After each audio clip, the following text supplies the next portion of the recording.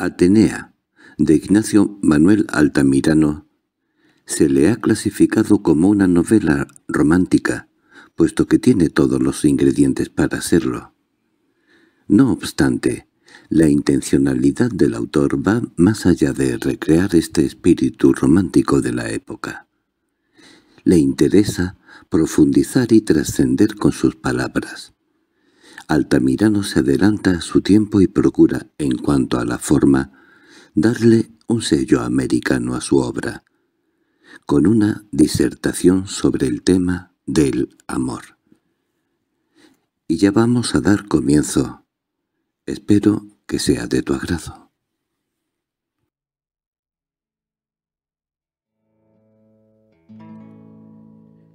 Atenea Un libro de Ignacio Manuel Altamirano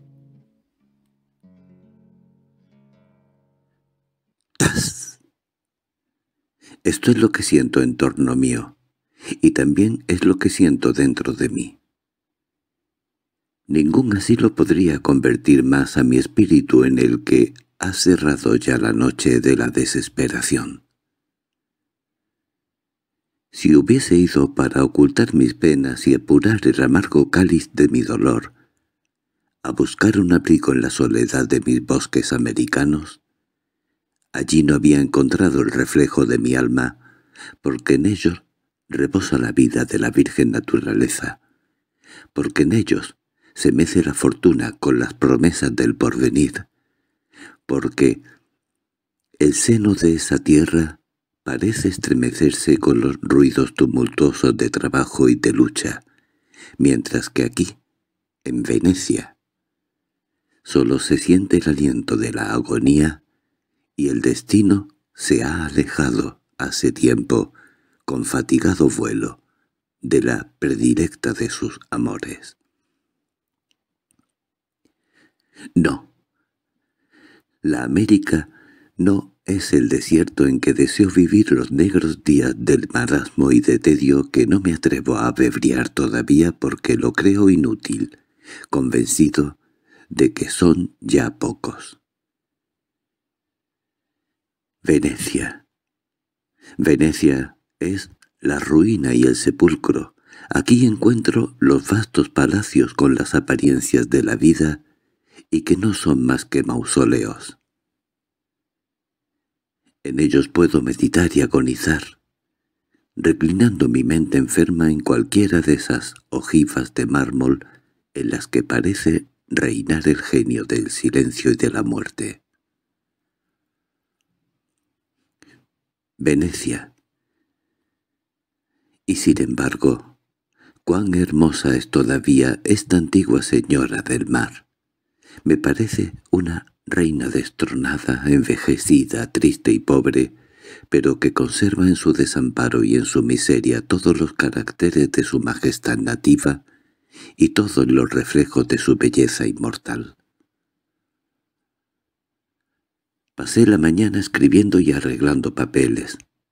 Después tomé el excelente almuerzo de este Hotel Bernardo, uno de los mejores de Venecia y dormí algunos minutos arrullado por el rumor de las góndolas, por las pláticas y cantos de los gondoleros y por el cercano ruido de las olas del Adriático. Todo aquí es extraordinario. Los sonidos llegan al oído, velados y suaves. El antiguo misterio de la vida veneciana parece conservarse en las conversaciones, en los rumores lejanos, en el silencio profundo que ellos interrumpen apenas de momento en momento. En la tarde, una hermosa tarde, de cielos sin nubes, me decidí a salir para echar la primera ojeada a la ciudad soñada tanto tiempo y en la que pienso vivir y morir. Me metí en una bella y ligera góndola y dije al gondolero inteligente y gallardo joven que yo era un extranjero que veía por primera vez Venecia y que fuera mostrándome, mientras nos dirigíamos al Lido, todo lo que creyera digno de mención. El gondolero decidió, como todos me respondió, que en su ciudad todo era notable, todo encerraba recuerdos históricos y gloriosos, y añadió, dando un suspiro. «Señor, en Venecia todos no son ya más que recuerdos. Como en mi corazón», me respondí interiormente. Me preguntó después si no prefería ir desde luego a conocer la plaza de San Marcos. Para los venecianos, la plaza de San Marcos es lo primero. «No, amigo mío», le repliqué. «Mañana visitaremos San Marcos. Hoy deseo ver el Lido». «Muy bien», me dijo, y apoyándose apenas en el remo, comenzamos a atravesar las calles monumentales de esta ciudad poética y grandiosa, y empezó a señalarme palacios y templos mezclando a sus breves descripciones no pocas frases de singular dialecto veneciano, poco inteligible para mí, pero que no tenía interés en comprender tampoco. Me había sumergido en una reflexión melancólica y profunda. Veía y no miraba. Oía sin comprender, y no escuchaba más que la voz quejosa de mi alma atormentada por los implacables recuerdos. ¡Oh! Si ella estuviera aquí. Pero ella no vivía ya, y yo cruzaba, solitario y meditabundo, aquellas calles iluminadas por el sol de la tarde, pero en que las sombras de los palacios comenzaban a enlutar las aguas de las lagunas. Pensaba en ella como siempre. Sentía mi soledad, mi hastío, y mi espíritu se enlutaba también. Pronto llegamos al Lido.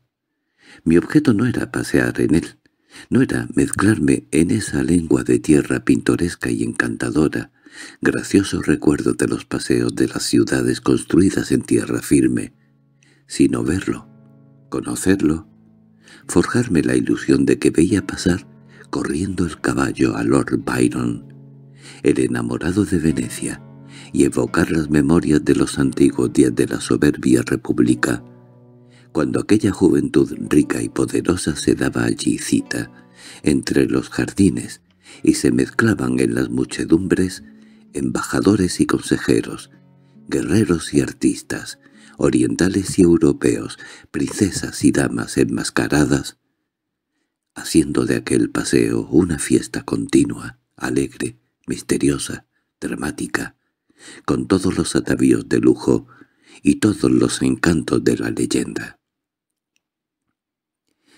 Así, poblando aquel lugar pintoresco y animado, con los cuadros de mi imaginación, el lido me pareció hechicero.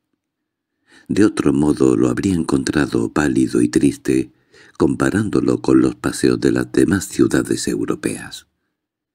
Sin embargo, su aspecto no es vulgar.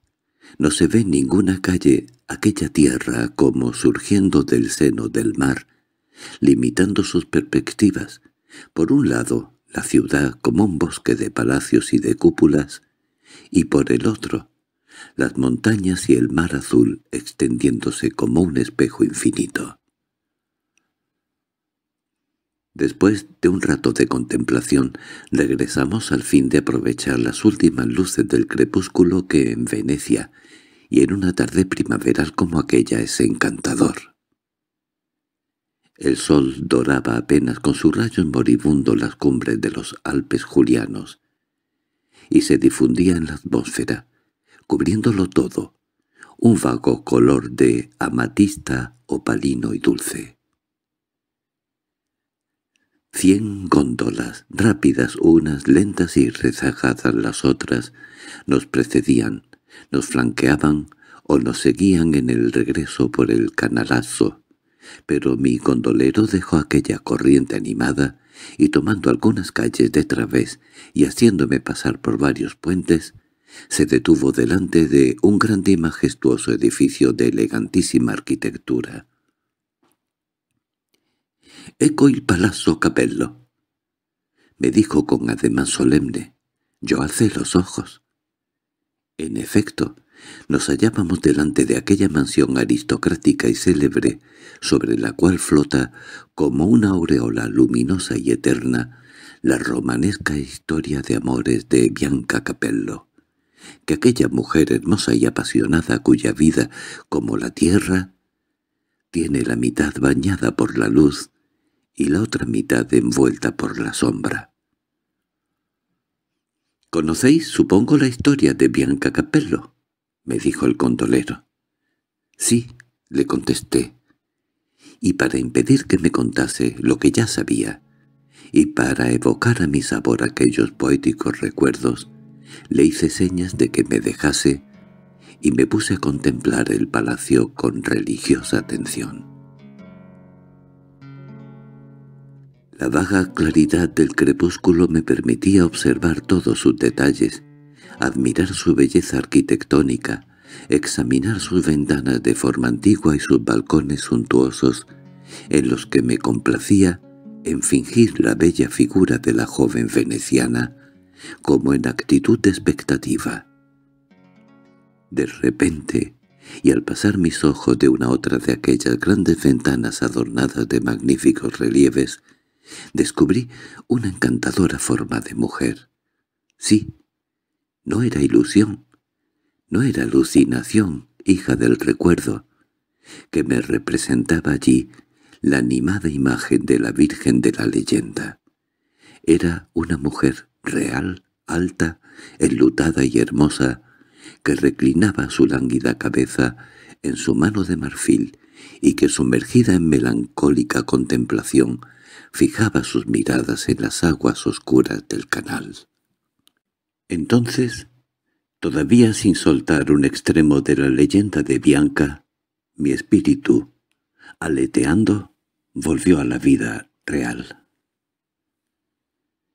Aquella aparición era ciertamente una bella mujer, triste, joven, tal vez desgraciada como yo, que la contemplaba curioso desde el fondo de mi góndola, sin darme cuenta de por qué súbitamente mi corazón latía con violencia. ¿Quién era? A las últimas ráfagas del crepúsculo que iba cediendo su dominio a la noche, podía examinarla. Como las antiguas venecianas, medio orientales, era blanca y pálida, y sus cabellos joyantes y abundosos eran negros. El cuello, hoy inclinado, era altivo, y el talle esbelto y majestuoso. Pero, ¿por qué guardaba esa actitud obstinada de inmovilidad y de tristeza? ¿Por qué no la distraían en su meditación ni las bromas de los gondoleros que atravesaban el canal lanzándole pullas en su dialecto agudo y pintoresco, ni el grito cercano de la muchedumbre acompándose en los puentes, ni las dulces armonías de la música que salían en ondas de las ventanas vecinas, juntamente con las ráfagas de luz artificial que comenzaba a encenderse? La noche cerraba y la joven no se movía de su puesto. ¿Acaso era una amante que esperaba una cita? ¿Acaso una extranjera ausente? ¿Acaso una esposa que se aburría? Preguntar algo a mi gondolero era fácil, considerándome enteramente absorto en una meditación histórica. El muchacho me había vuelto la espalda y se apoyaba en su remo, tarareando una eterna canción, una especie de Bergekux, de gondolero veneciano, tan conocida de los viajeros. Pero no quise cometer una impertinencia, porque, después de todo, ¿qué podía saber aquel gondolero? Me callé y esperé un instante. La inmovilidad de nuestra góndola y el canto del joven, más perceptible a medida que cesaba el ruido de los paseantes, acabaron seguramente por llamar la atención de la hermosa meditabunda, que alzó la cabeza y fijó los ojos en la góndola. Entonces pude verla en toda la esbeltez de su talla. Era alta y erguida. Su cuello sustentaba con altivez una cabeza llena de juventud. Pero, ¡ay! Las sombras envolvían ya el palacio, y no pude distinguir sus facciones. La imaginación me las representaba bellas y, ¿cómo no serlo? Aquel talle, aquel cuello, aquella mano, aquellos cabellos anunciaban la belleza y la inteligencia del semblante. Yo me lo forjé encantador, y aún vislumbré en él una sonrisa tímida y triste. La humedad de la noche obligó a entrar a la joven, y el palacio Capello se quedó mudo para mí. Lo que me pasaba era raro. La curiosidad produce a veces los fenómenos mismos del amor. Di orden al gondolero de regresar al hotel, y un momento después entraba yo en mi cuarto. No quise bajar a la mesa y no pude porque no tenía apetito. Sentía una emoción extraña, inquietante, indecible. ¿Qué me pasaba? Me había creído lleno de dolor, de un dolor inmenso, infinito, que no dejaba lugar a otra especie de afecto, ni aún a la viva curiosidad de viajero. Nacían dentro de mi alma algunas inquietudes, algunos síntomas de pasión, algunos afanes pasajeros, pero como los frutos de un árbol sin savia que caen luego al nacer, como los relámpagos que pasan en una noche oscura, caían y pasaban, dejándome siempre el desmayo eterno, la noche interminable. ¿Sería ahora esa sensación extraña como aquellos afanes y como aquellas inquietudes? Yo estaba temiendo que no. Ese violento palpitar del corazón que había experimentado un momento hacía al contemplar a aquella mujer, aquella sombra apenas entrevista entre las vagas claridades del crepúsculo, aquella atracción irresistible que había ejercido sobre mí, tan pronto como pude fijarme en ella. Esta zozobra que ahora sentía, el goce intensamente voluptuoso y amargo que parecía saborear mi corazón desesperado y doliente. ¿No era acaso más que las corrientes galvánicas que conmovían un cadáver. Pero de todos modos era la primera vez, después de mucho tiempo, que me sentía así. Era la primera vez que una figura de mujer persistía algunas horas en mi recuerdo, y que de verla me quedaba en el corazón este dejo, en que se mezclan a la par el absinto y la miel, produciéndome la embriaguez o el desvanecimiento. Pero, sobre todo, ha envuelto mi espíritu después una nube sofocante y oscura, una especie de desengaño punzante y abrumador que me obliga a filosofar sobre los grandes efectos del alma, pues que lo que yo creía definitivo no sería acaso más que un estado transitorio del espíritu, algo como la enfermedad, que postra hasta la agonía y que sin embargo no acaba de extinguir la fuerza de la vida. ¿No es cierto que se ama solo una vez? Pero esta pregunta es extemporánea y prematura, pues que ¿amó ya de nuevo? un estremecimiento debido quizá al estado irritable de mi organización nerviosa, a la influencia mágica de un recuerdo poético, a la fascinación incorriente, ¿puede ya calificarse como un sentimiento nuevo?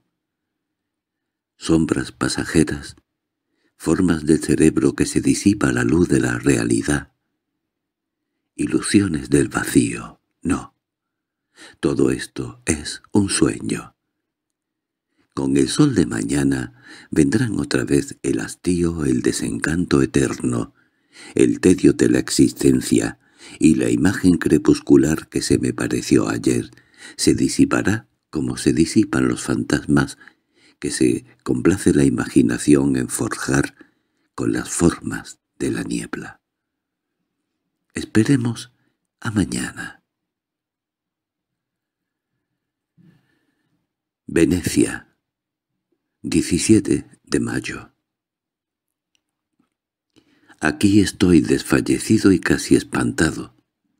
La obsesión de la imagen de la noche se ha hecho cada vez más obstinada e intensa. Dormí mal. Me despertaba a ratos, como presa de una inquietud febril.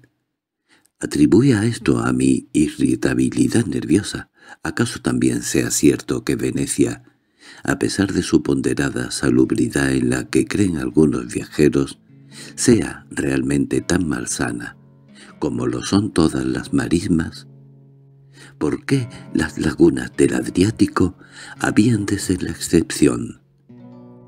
Hay viajeros que han sido atacados aquí de fiebres palúdicas, y la verdad es que la humedad nocturna aquí ocasionalmente fuerte enfermedades, especialmente a los que no están aclimatados.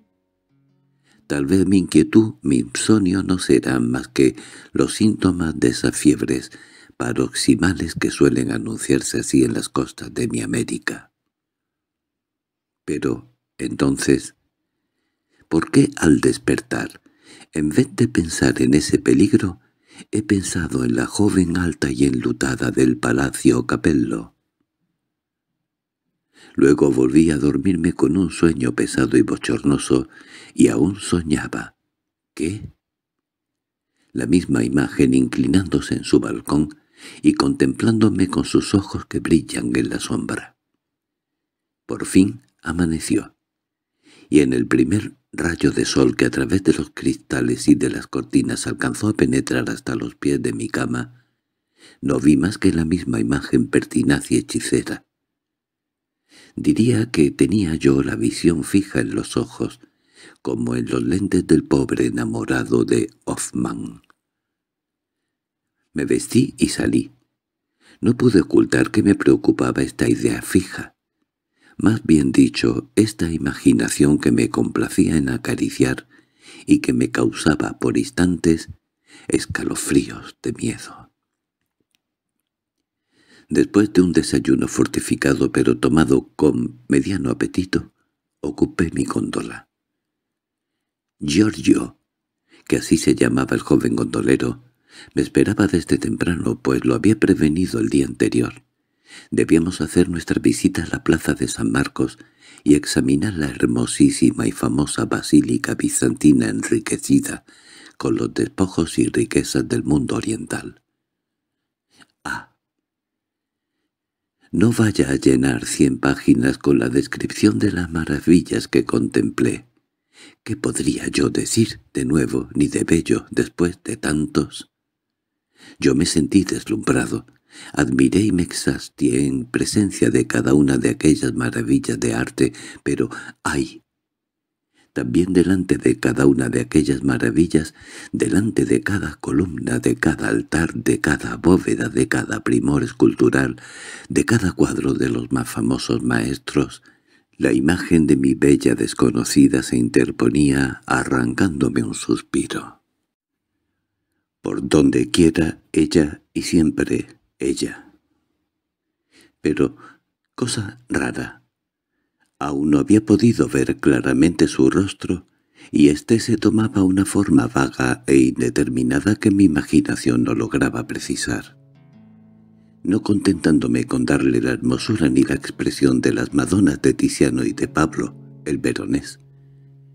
Era otra cosa, y esa otra cosa yo la sentía así, lejanamente, confusamente, como algo que se quiere distinguir en medio del delirio o en los vagos recuerdos de la niñez. Salí luego y recorrí la plaza de San Marcos, iluminada por un bello sol de primavera. Me mezclé entre la muchedumbre y traté de aturdirme y de liberarme de una especie de opresión que iba apoderándose de mí. Presa de esta sensación extraña, visité el palacio ducal. Contemplé la escalera de los gigantes, la escalera de oro y la sala del gran consejo, llena de cuadros maravillosos de Tintoretto, del Veronés de Palma, de Zaccari y Contarini y de Tiziano. Cuadros que visto deprisa, reservándome para otra ocasión admirarlos por largo tiempo. Estaba yo como impulsado por un deseo de locomoción irresistible y a causa de él salí del palacio ducal y fui al famoso Café Florian a tomar un refresco. Allí encontré una multitud de venecianos, de extranjeros y de hermosas damas tomando ya una limonada, ya una bebida de anís tan predilecta de las venecianas. Si ella hubiera estado allí, de seguro que no la habría reconocido. Imposible.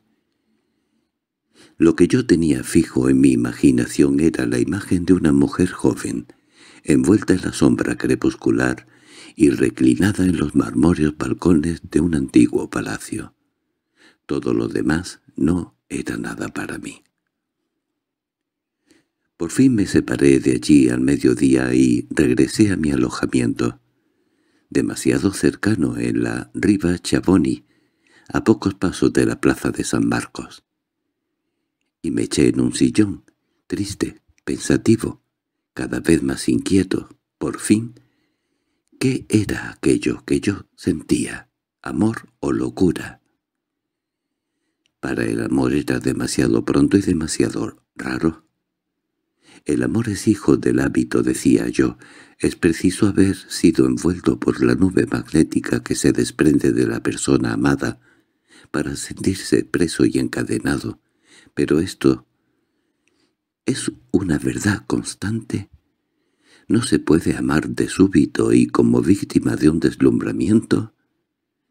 ¿El dardo de la fábula no puede clavarse en un instante también en la vida real? ¿Acaso el amor no es una enfermedad que se contrae en una sola mirada al escuchar un acento, al estrechar una mano?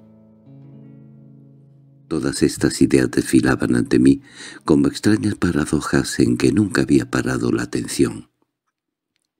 Yo no había amado así nunca, pero ¿es que se ama siempre del mismo modo? En el amor el procedimiento es siempre igual. En resumen, si esto no era amor seguramente era locura. Mi pobre cerebro, ocupado constantemente con un pensamiento solo, nublado siempre por las sombras de un pesar intenso, irritado por la desesperación, habría acabado por desorganizarse. Esta sola idea Hacía circular por todo mi cuerpo un escalofrío que me helaba y que me hacía sentir como un puñal clavado en el corazón. Pero si era locura, no era lo natural, puesto que también en la locura y lógica que se tradujese en el sentido de mi preocupación y de mi enfermedad moral. ¿Por qué, pues? ¿Por qué, pues, la imagen antes adorada se había sumergido en el océano oscuro de mi memoria, y sólo surgía en él, luminosa, tenaz y querida, la imagen que vi ayer. De todos modos, hay algo de consolador en medio de este extravío que sufro.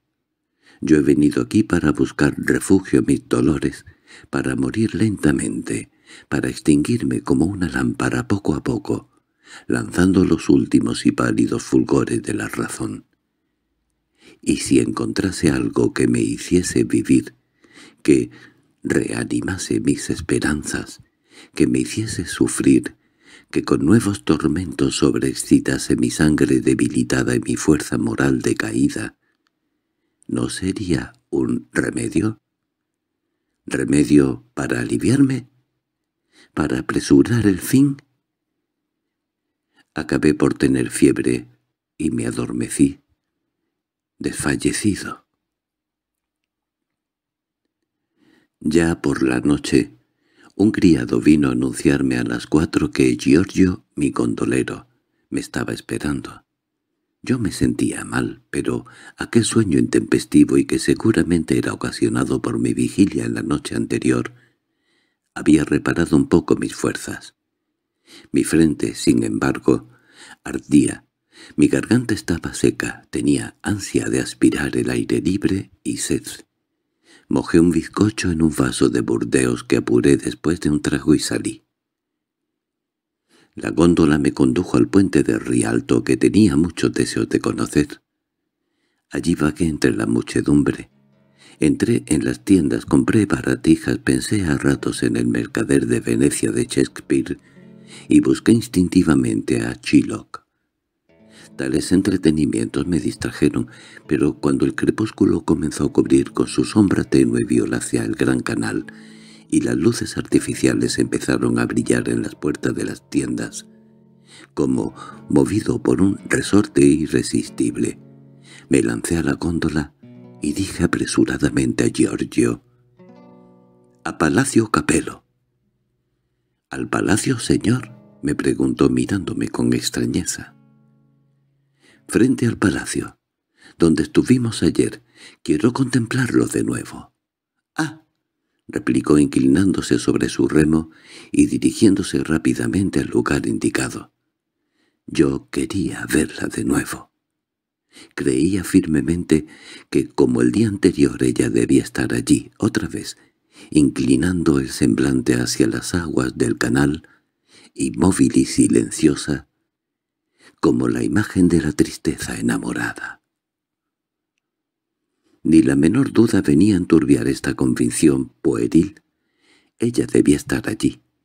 Como toda la noche y todo el día la había visto en mi imaginación del mismo modo, se había producido en mí la seguridad de que así estaba siempre, como una santa que hubiese visto en un altar, como las vírgenes que había visto esa mañana en la iglesia de San Marcos y en el palacio ducal.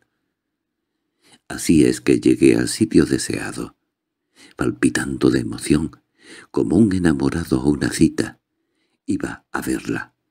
Tal vez hoy podría examinar a todo mi sabor su semblante, su semblante que había dotado con la hermosura vaga y confusa de mi delirante ideal.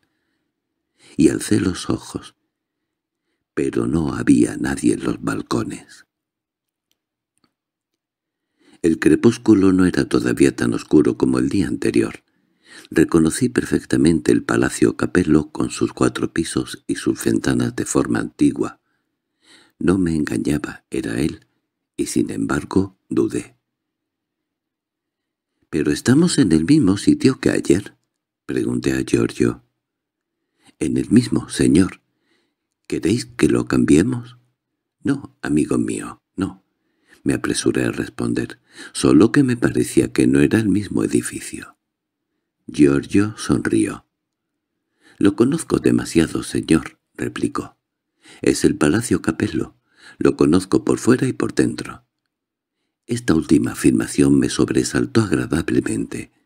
Tal vez este muchacho conocería a las gentes que hoy habitaban el palacio, tal vez él podría decirme, pero callé.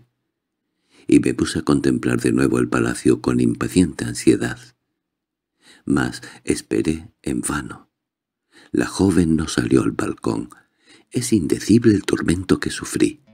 Ya entonces era inútil preguntarme si la curiosidad producía también los fenómenos del amor, porque evidentemente lo que yo tenía era amor, a no ser que fuese locura. Así pasé largo rato.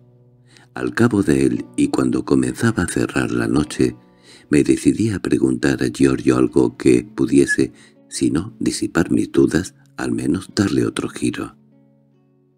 Yo sentía la necesidad de la confidencia de la exteriorización. Aquel pensamiento encerrado en mi alma me ahogaba. «Con que estáis muy seguro, amigo mío, de que este es el sitio en que permanecimos ayer un momento, ¿eh?» pregunté al condolero. «Oh, muy seguro», contestó Giorgio, mirando otra vez sorprendido.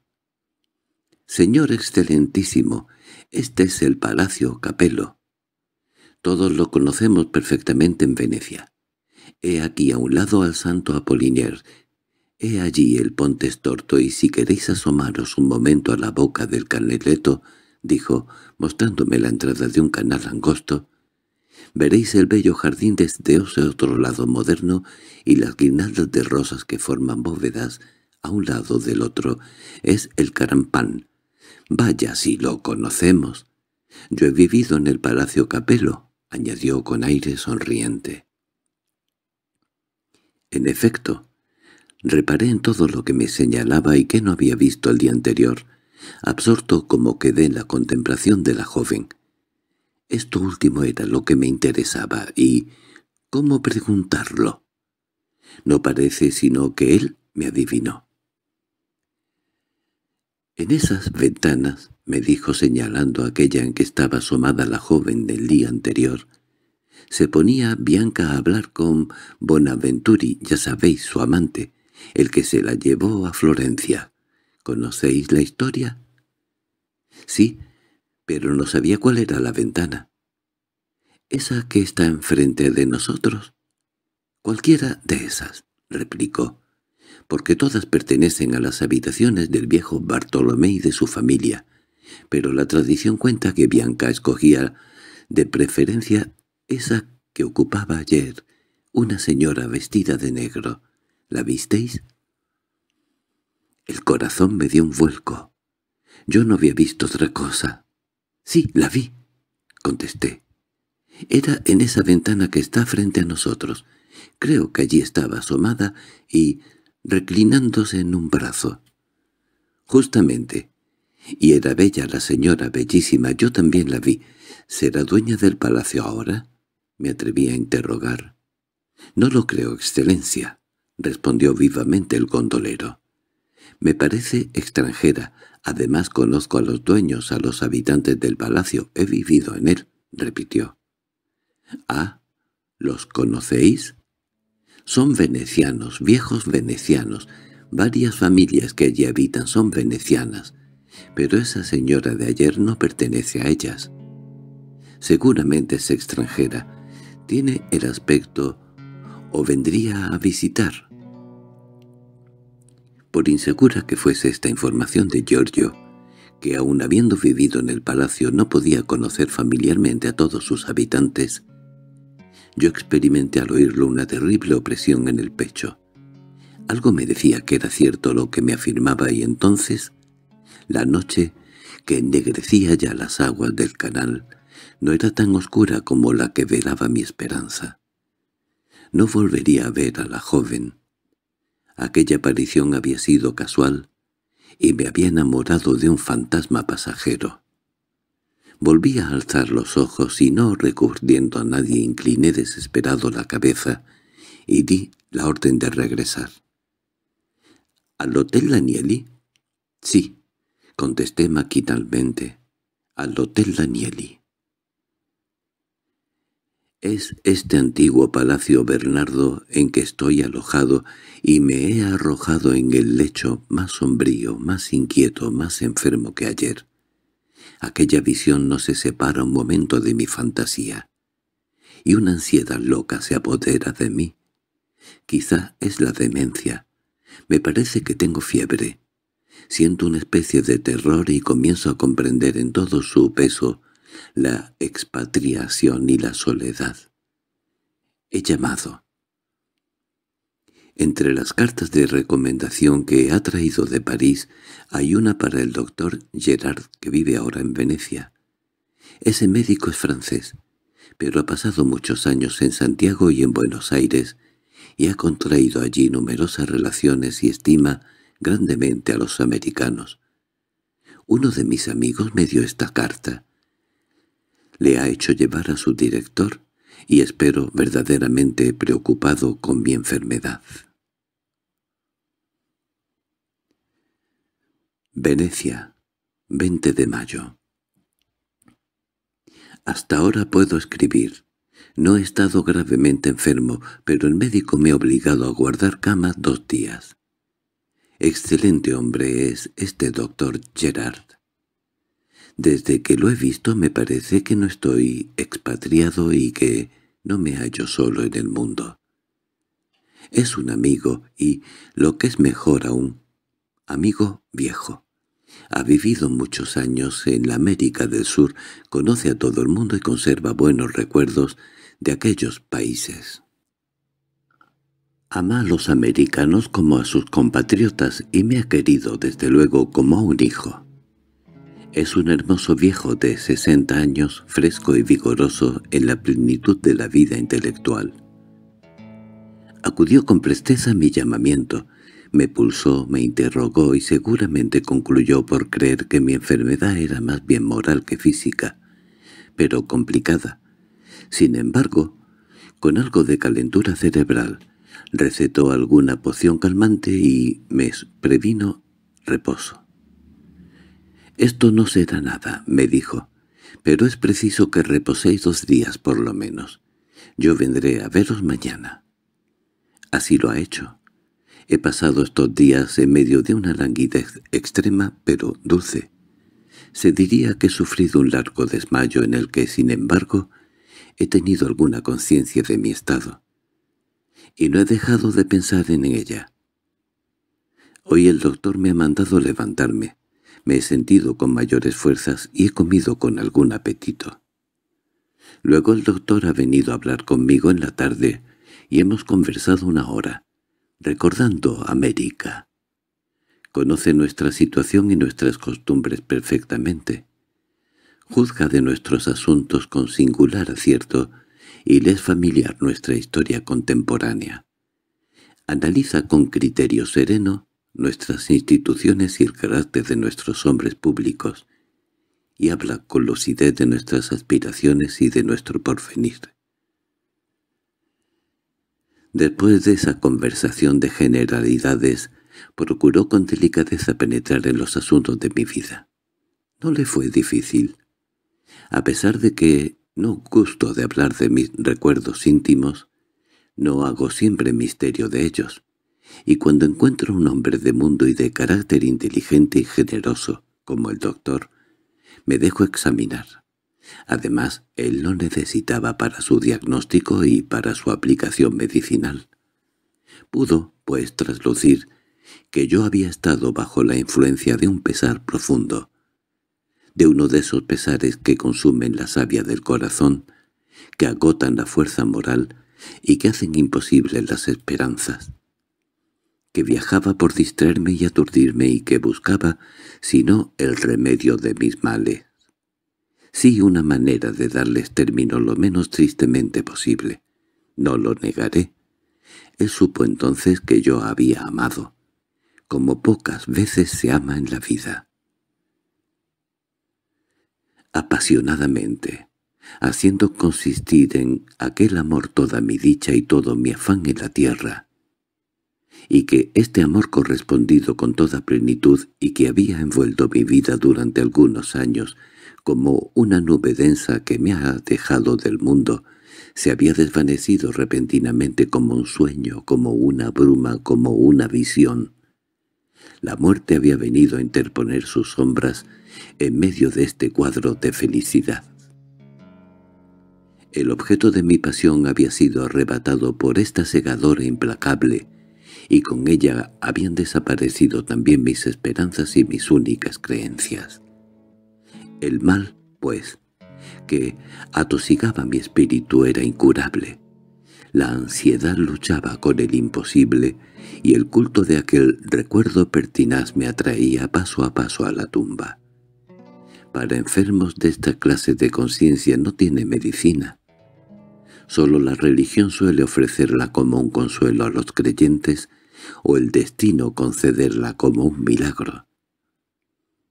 El doctor hasta aquí permanecía pensativo e inquieto. Quizá atribuía en gran parte mi estado actual a esa larga lucha de vigor moral agotado con mis implacables dolores. Pero estaba muy lejos de pensar que había habido un nuevo sacudimiento en mi alma que tal vez el milagro del destino había operado aquella revolución que me postraba o que el estado de sobreexcitación de mi espíritu que hacía peligrosísimo cualquier nuevo sentimiento había producido por una transformación extraña aquel abatimiento final. Nada le dije acerca de mi preocupación de los últimos días. Temí francamente que me creyera loco.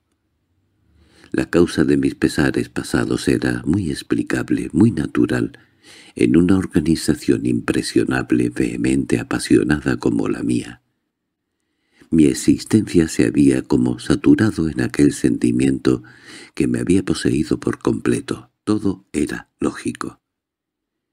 Pero decirle que al llegar a Venecia, cuando traía el corazón como cubierto con el espeso escudo de mi dolor, apenas vi, y eso envuelta en las sombras del crepúsculo a una mujer desconocida, cuando fui presa de una especie de obsesión tenaz y de una ansiedad indecible. Esto era abordar la demencia cuando no la puerilidad.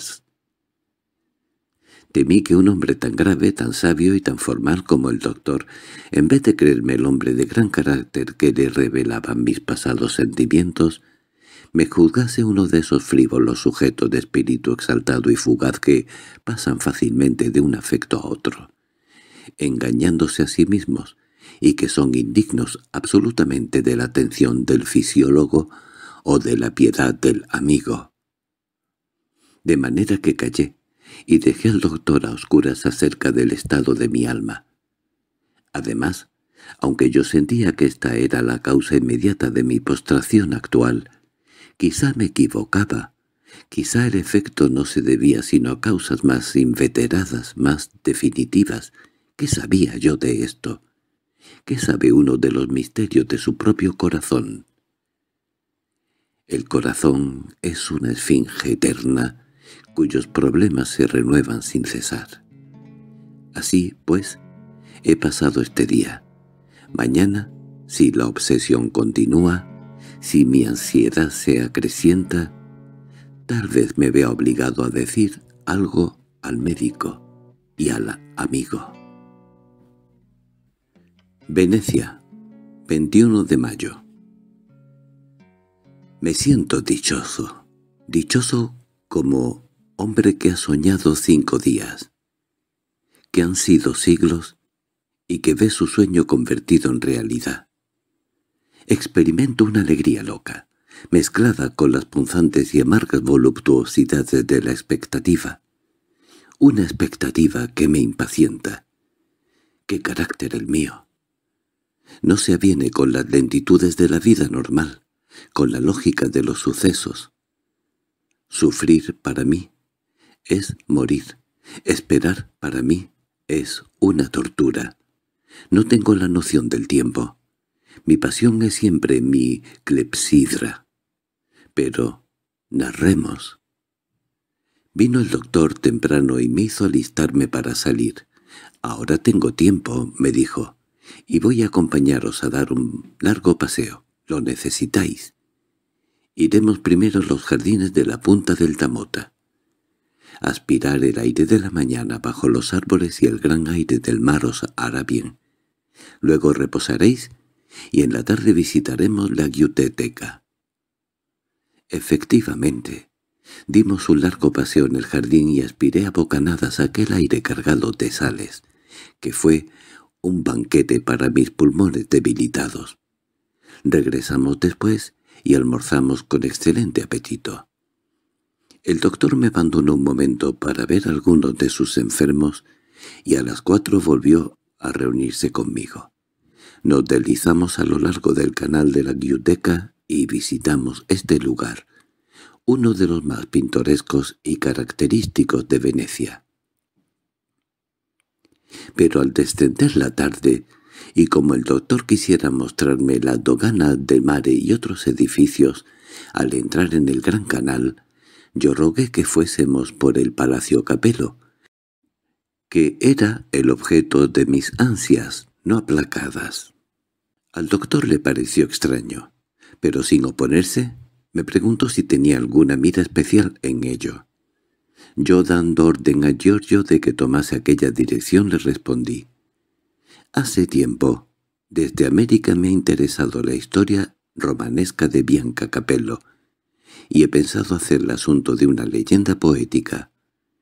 Ahora que estoy en Venecia, deseo conocer el palacio y estudiar lo que puede llamarse el color local. ¿Qué os parece? Muy bien, contestó el doctor. Perfectamente. Yo os mostraré las ventanas de Bianca, la casa en que estaba situado el banco de los Saviati, tíos del pobre joven Pietro Bonaventuri. Después tendréis que ir a Florencia para conocer las casas en que sirvió de escondite a los amantes y el palacio de los Medicis, en donde se operó la transformación de la ardiente joven veneciana. en una historia singular esta, y que ofrece un estudio terrible del corazón de la mujer. ¿Cultiváis la poesía? Algunas veces, le respondí, como una distracción de mi tristeza. Es un consuelo, en efecto, repuso el doctor, pero a veces se convierte en tóxico. Para los caracteres poéticos, cuando son desgraciados, la poesía se convierte en el buitre de Prometeo. Es la pena de los inmortales. Ciertamente. ¿Y cuánto tiempo hace, le dije, que he conocido esta verdad cruel? Tal vez la exaltación de mis sentimientos y de mis dolores no se deba sino a este extraño privilegio del destino, pero es ineludible como la muerte. Así, departiendo amigablemente sobre los peligros y las ventajas de nuestros respectivos caracteres, llegamos frente al palacio, un poco antes de la hora de los días anteriores. El sol aún no se ponía.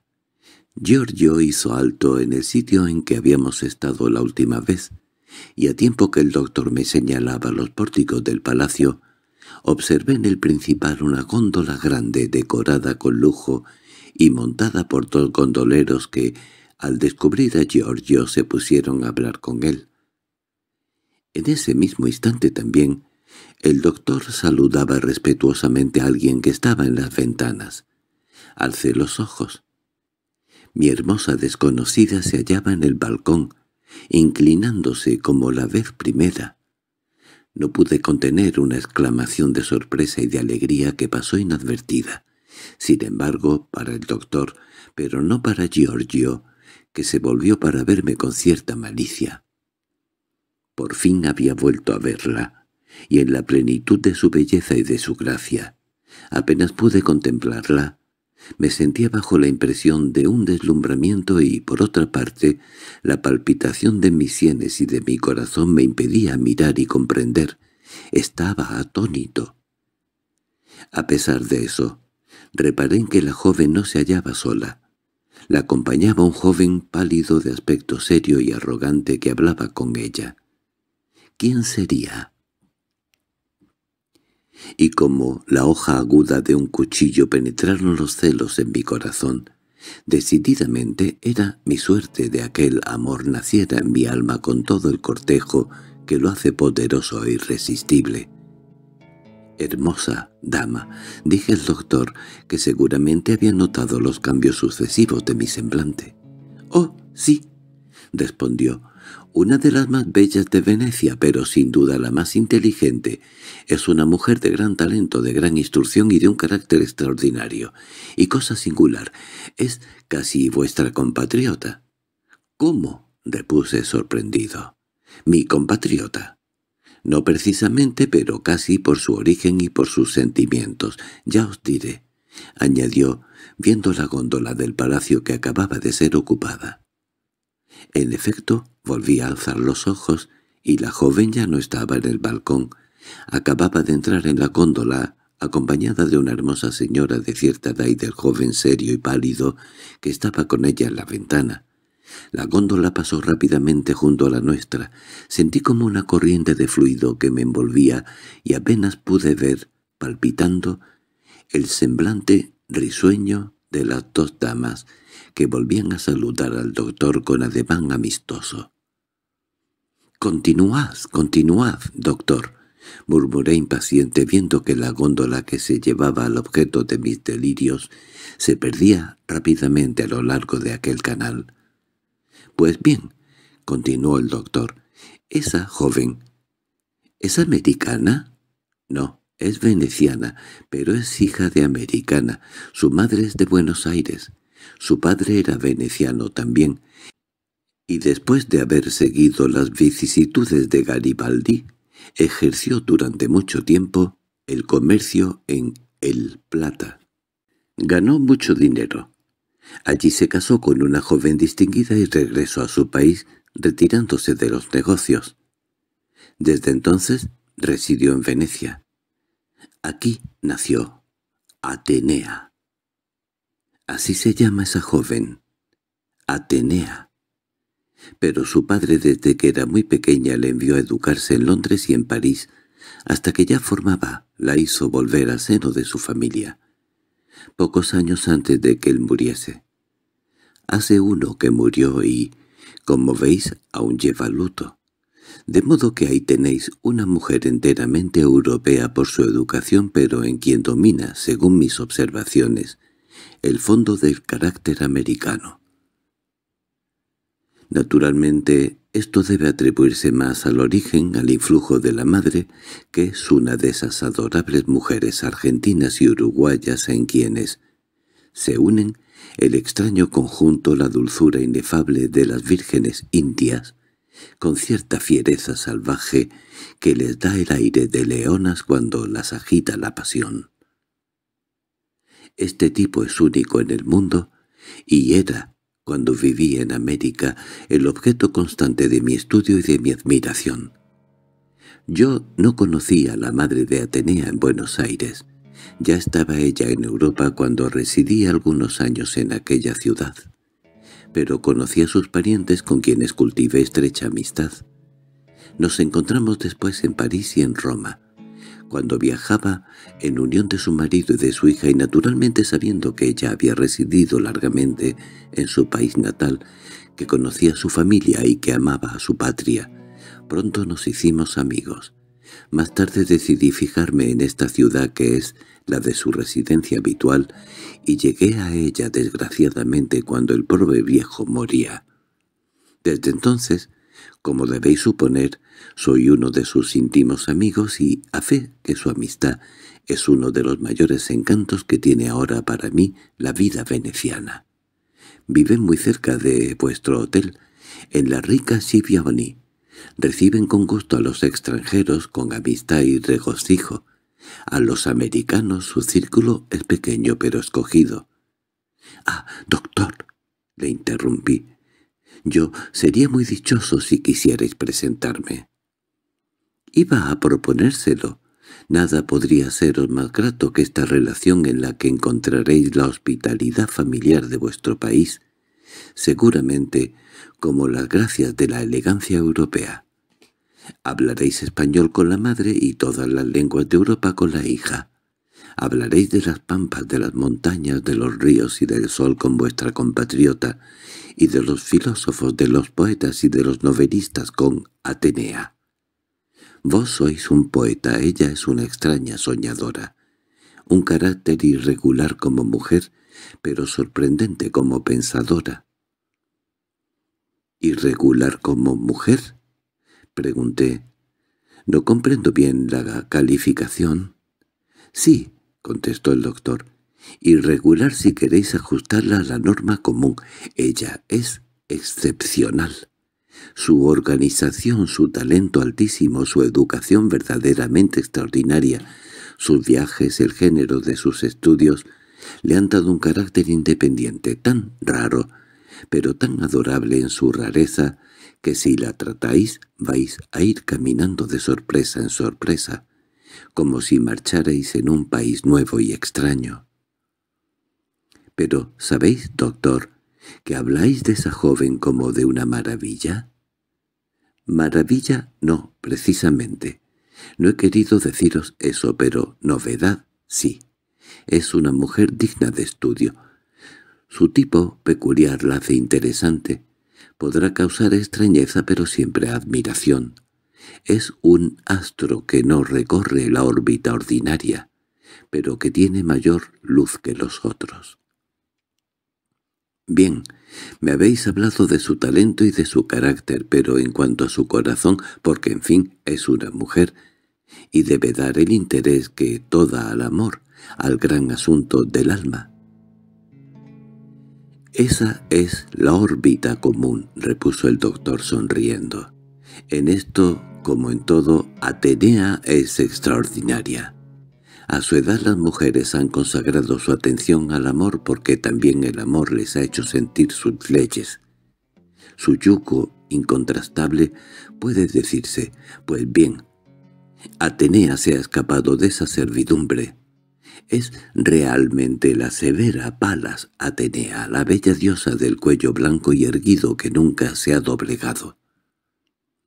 Pero es singular, muy singular, prodigioso.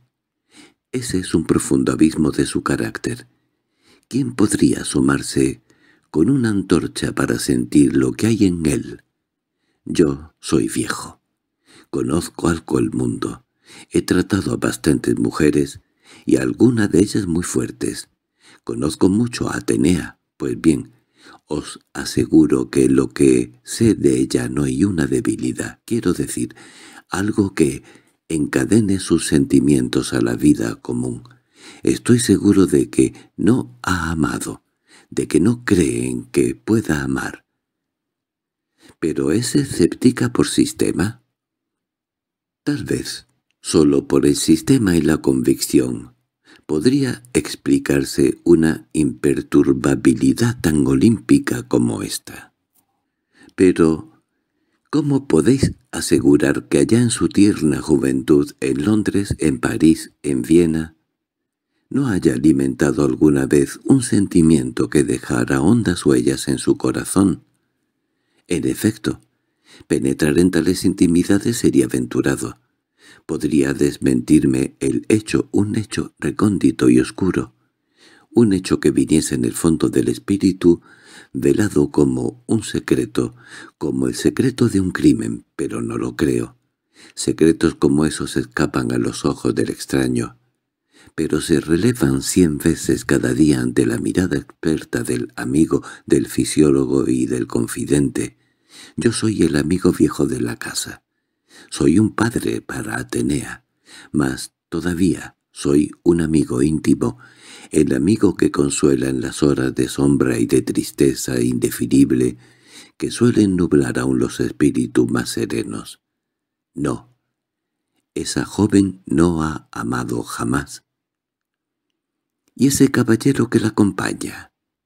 Ah, dijo el doctor encogiéndose de hombros, ese es justamente una piedra de toque.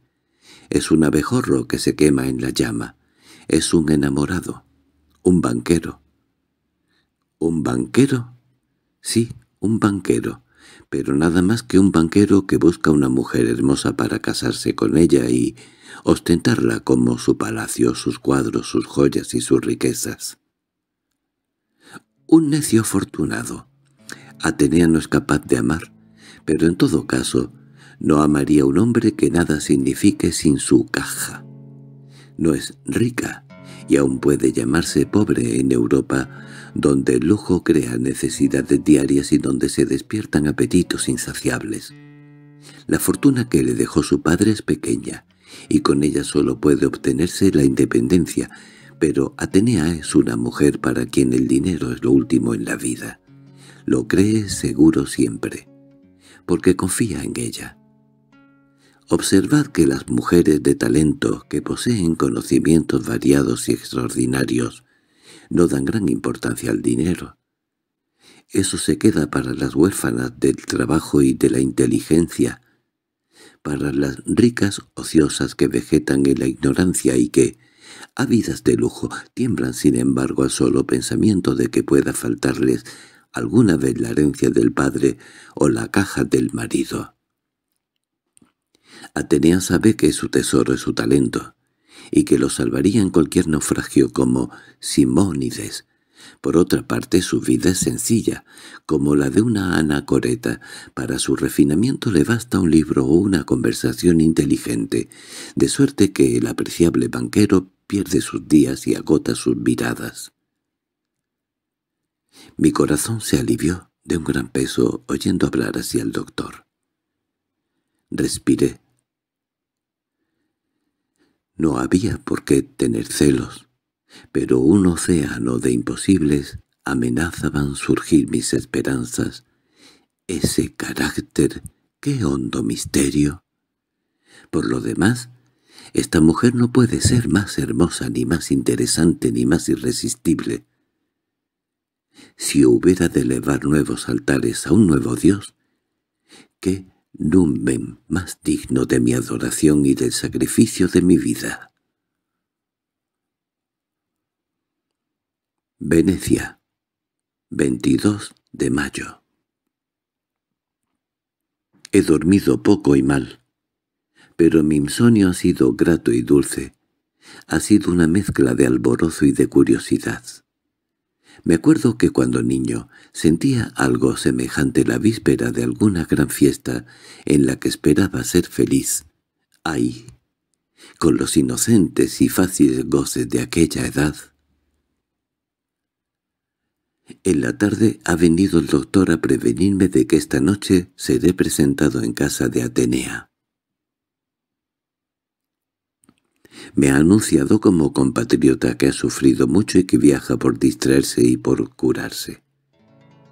Y soy esperado con cierta curiosidad afectuosa.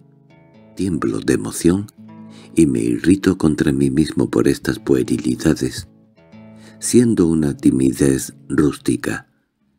¿A dónde se ha ido el hombre de mundo? Es el vértigo del abismo, quizá.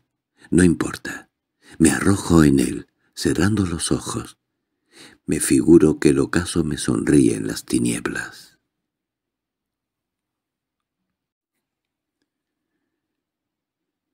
Venecia, 23 de mayo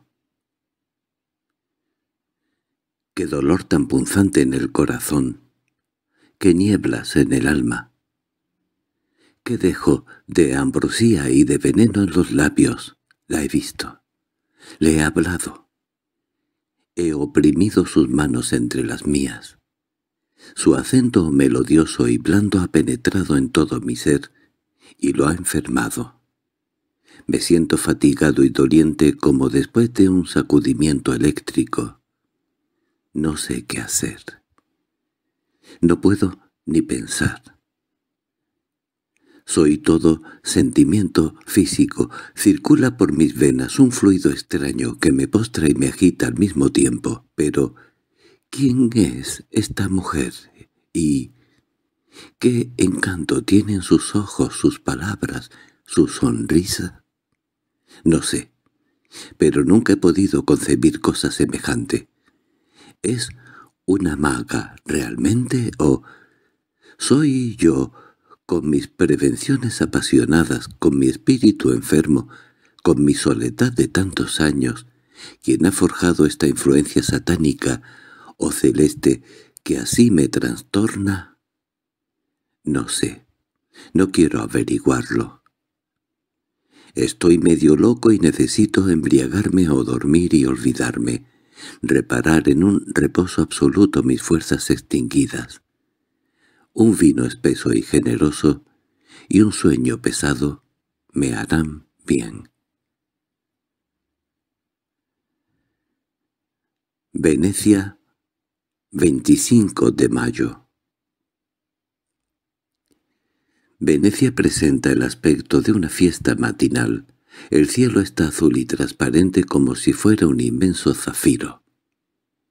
El sol brilla alegre sobre el Adriático.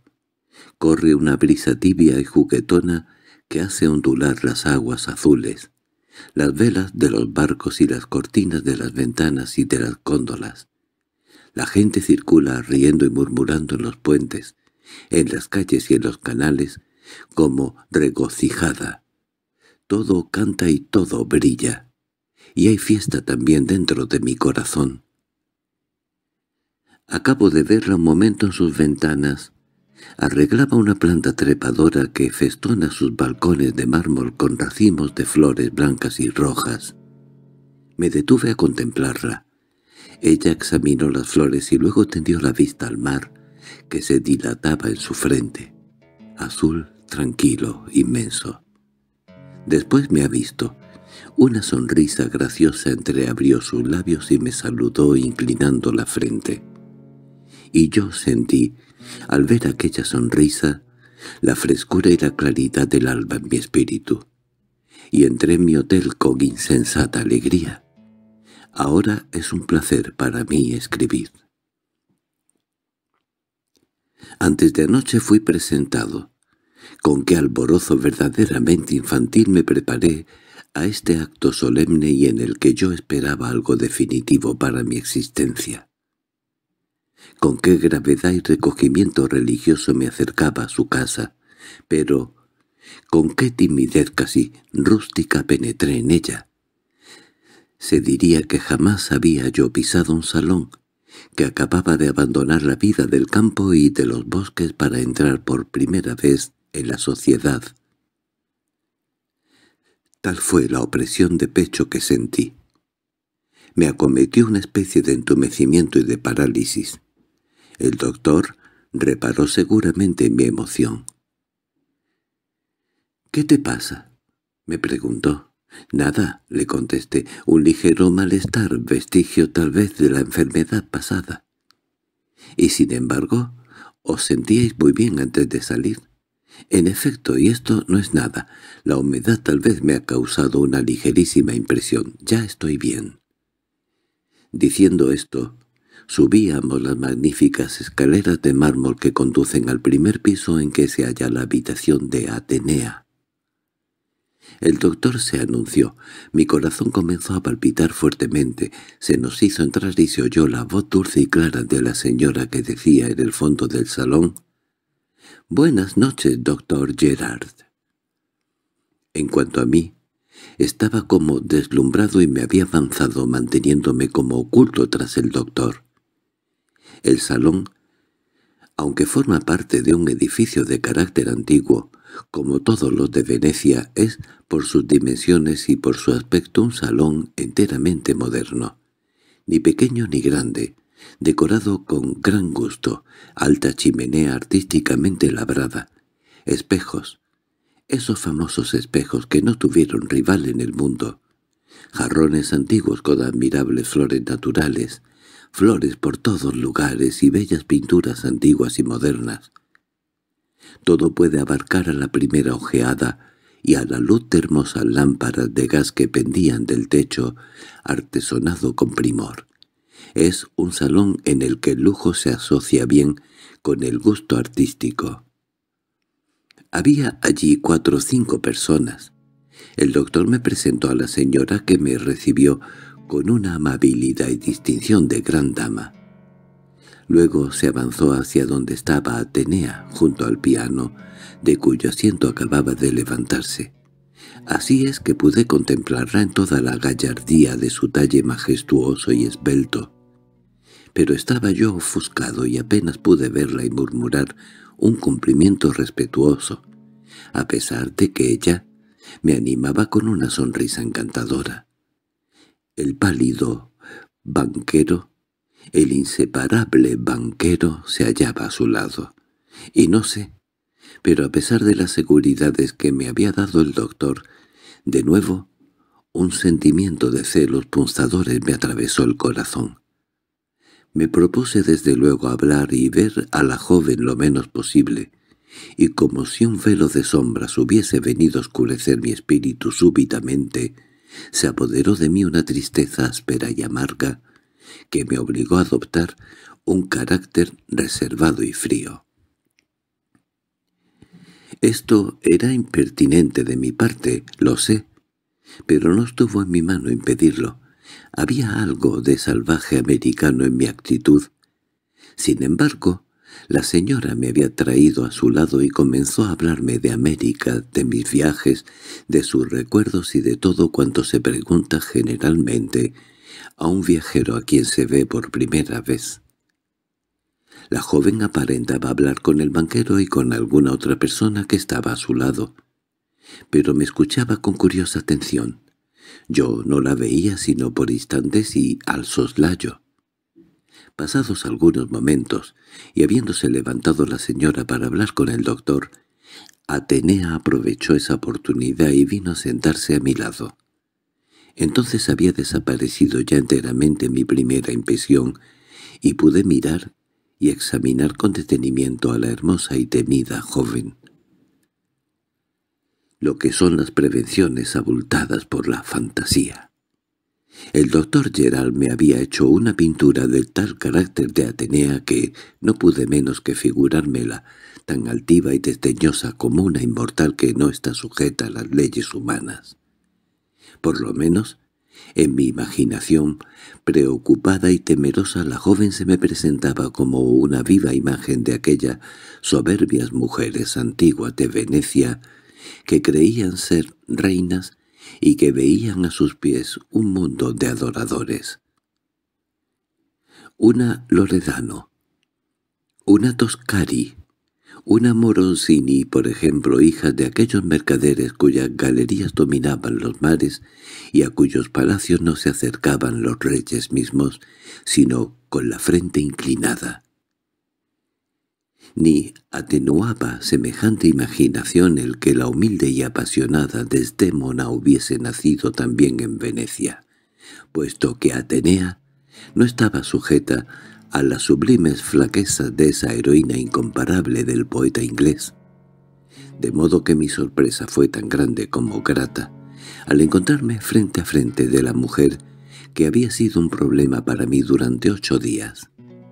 Es hermosa, eso sí, con una hermosura que tiene algo de penetrante y de hechicero. Luego se siente y... que se ve se diría que una hermosura de esta clase que exhala un aroma, que embriaga el alma, o más bien, que está circuida de una atmósfera magnética que subyuga, blanca y morena, como nuestras morenas de América, con un cutis de raso en que la sangre se calora y se transparenta como a través de un pétalo, los ojos oscuros y profundos revelando el abismo, un abismo de pasión y de inteligencia, la nariz recta la boca, ni pequeña ni grande, pero con los extremos dirigidos levemente hacia arriba, como la boca de las Junos y de las Venus griegas. Los labios rojos, carnosos y frescos, cabellos y cejas también oscuros, el cuello erguido y poderoso como el de Palas, y las manos y el antebrazo como de marfil, el cuerpo ondulante y gracioso revelando juventud, movimiento y fuerza. Así la vi en mi rápido examen que ella observó con cierto placer, como todas las mujeres bellas, y que acentuó con una sonrisa que me dejó entrever una gracia extrema, a saber, unos dientes blancos y brillantes. Era una sonrisa en que había luz. Entretanto me hablaba. Su voz era dulce y melodiosa, con ese acento suave veneciano que parece hijo del silencio de la ciudad, del rumor de las góndolas, del suspiro del viento entre los palacios o del lejano murmullo de las ondas. Esa voz era un encanto, y modulándola así, con las inflexiones de la curiosidad y acentuándola con su leve sonrisa y con el alternativo adormecimiento o brillo de los ojos. Atenea realmente era una maga fascinadora, y sin embargo nada tenía de altiva, de desdeñosa, de irónica. Era una joven de altísima educación, pero casi tímida, benévola, dulce. El doctor decía bien, como las vírgenes indias de nuestra América. Podía calificársela como Horacio en Hamlet calificaba a Ofelia. Criatura suave. Ni el menor rasgo de curiosidad, ni de orgullo, ni siquiera la conciencia de su prestigio, era una niña grande, predispuesta a las sorpresas interrogando a la vida, pero mirándola de frente, sin miedo, segura de su bondad y de su fuerza. Conversamos largo tiempo y casi nos olvidamos de la gente del salón. Hacía diez minutos que hablábamos y ya viajábamos juntos en alas del espíritu por los espacios celestes, con los mares tormentosos de América o por las selvas vírgenes que ella oía hablar frecuentemente, cómo excitaba su curiosidad nuestra vida republicana, guerrera y salvaje, cómo deseaba conocer las maravillas de los Estados Unidos del Norte, pero cómo le interesaba también el carácter de nuestros pueblos primitivos. Ella, enteramente europea, no podía ocultar su sangre americana y se deleitaba pensando en la América como en una leyenda en cuya bruma luminosa se perdía su alma en infantil meditación. No fue preciso volver a la realidad. Nos habíamos aislado completamente y el pobre banquero, el otro personaje y el doctor habían tenido que acercarse en torno de la señora, dejándonos libres en aquel diálogo en que por turno Atenea y yo nos dejábamos extraviar por el numen de la conversación. Se servía el té. La joven, con aquellas manos que yo contemplaba con arrobamiento, me presentó una taza. «Oh, sigamos hablando», me dijo. «Me parece que despierto un mundo nuevo. Yo hablo con muchos americanos que pasan por aquí, pero se van pronto o preguntan mucho y nuestras conversaciones tienen que ser el complemento de sus guías. Yo deseo hablar de América. ¿Permaneceréis algún tiempo en Venecia? Pienso, respondí, residir aquí toda mi vida. ¿Toda su vida? me dijo con sorpresa. —¿Pues es eso cierto? —Oh, no, es broma —exclamó el doctor interrumpiendo. —Mi amigo ha venido a morir a Venecia. Al menos me consta que esa ha sido su intención desde que llegó. —¿A morir? —repuso ella con un leve fruncimiento de cejas en que se mezcla el dolor y la sorpresa. —Sí, a morir —respondió el doctor a morir cuando el cielo lo disponga, pero eso no quiere decir que piense en no moverse de aquí hasta que llegue esa hora fatal. Ya os explicaremos eso, mi hermosa amiga. —Es singular —dijo muy serena Atenea. —De modo —añadió la señora— que abandonáis nuestra América como yo. —Precisamente, señora —repliqué—. ¿Pero no tenéis familia allí? Tengo parientes, lo mismo que he tenido el honor de oír que los tenéis vos. Pero familia íntima, padres, hermanos, esposa, hijos, todo lo que forma un lazo que enlaza a uno al suelo, eso ha desaparecido. Allí estoy tan solo como aquí. Y sin embargo, la patria, concluyó la señora tristemente, es cierto, señora, la patria es bastante, pero hay ocasiones en que es preciso despedirse de la patria como es preciso despedirse de la vida. —Lo adivino —dijo en voz baja Atenea al doctor—. Allá pasan cosas horribles que también vemos en Europa, aunque con menos frecuencia. La proscripción política... —Sí —contestó el doctor también en voz baja—, pero esta vez no es la política lo que proscribe a mi amigo. Es otro poder más terrible, es el dolor. —¿El dolor? —preguntó a Atenea con vivo interés. Pero el doctor conoció que había ido demasiado lejos, que quizá había cometido una indiscreción, y pidiéndome perdón con los ojos se alejó de la joven. Esta se acercó de nuevo a mí. —¿Es cierto? —me preguntó que habéis venido con la resolución de vivir aquí para siempre? —Muy cierto, señorita —le contesté—, y le dije brevemente cuáles eran los motivos que me habían hecho escoger a Venecia para residir en ella, ocultándole, por supuesto, el de que me parecía una ciudad de ruinas. Le referí enseguida el cómo la había conocido hacía ocho días, ocultándole también que había sido objeto constante de mi preocupación. Sí, le añadí, que en aquella hora y pensando en aquella leyenda veneciana, su imagen me había hecho soñar, me había hecho perderme en una meditación poética. Ella me escuchó pensativa. De repente, como saliendo de un éxtasis, murmuró, «Es singular», y luego añadió con timidez y curiosidad, con que sois presa de un pesar inmenso. Como sabéis, iba a responderme cuando la señora la interrumpió. Puesto que os proponéis vivir en Venecia, espero que contaréis con nuestra amistad y que nos veréis frecuentemente.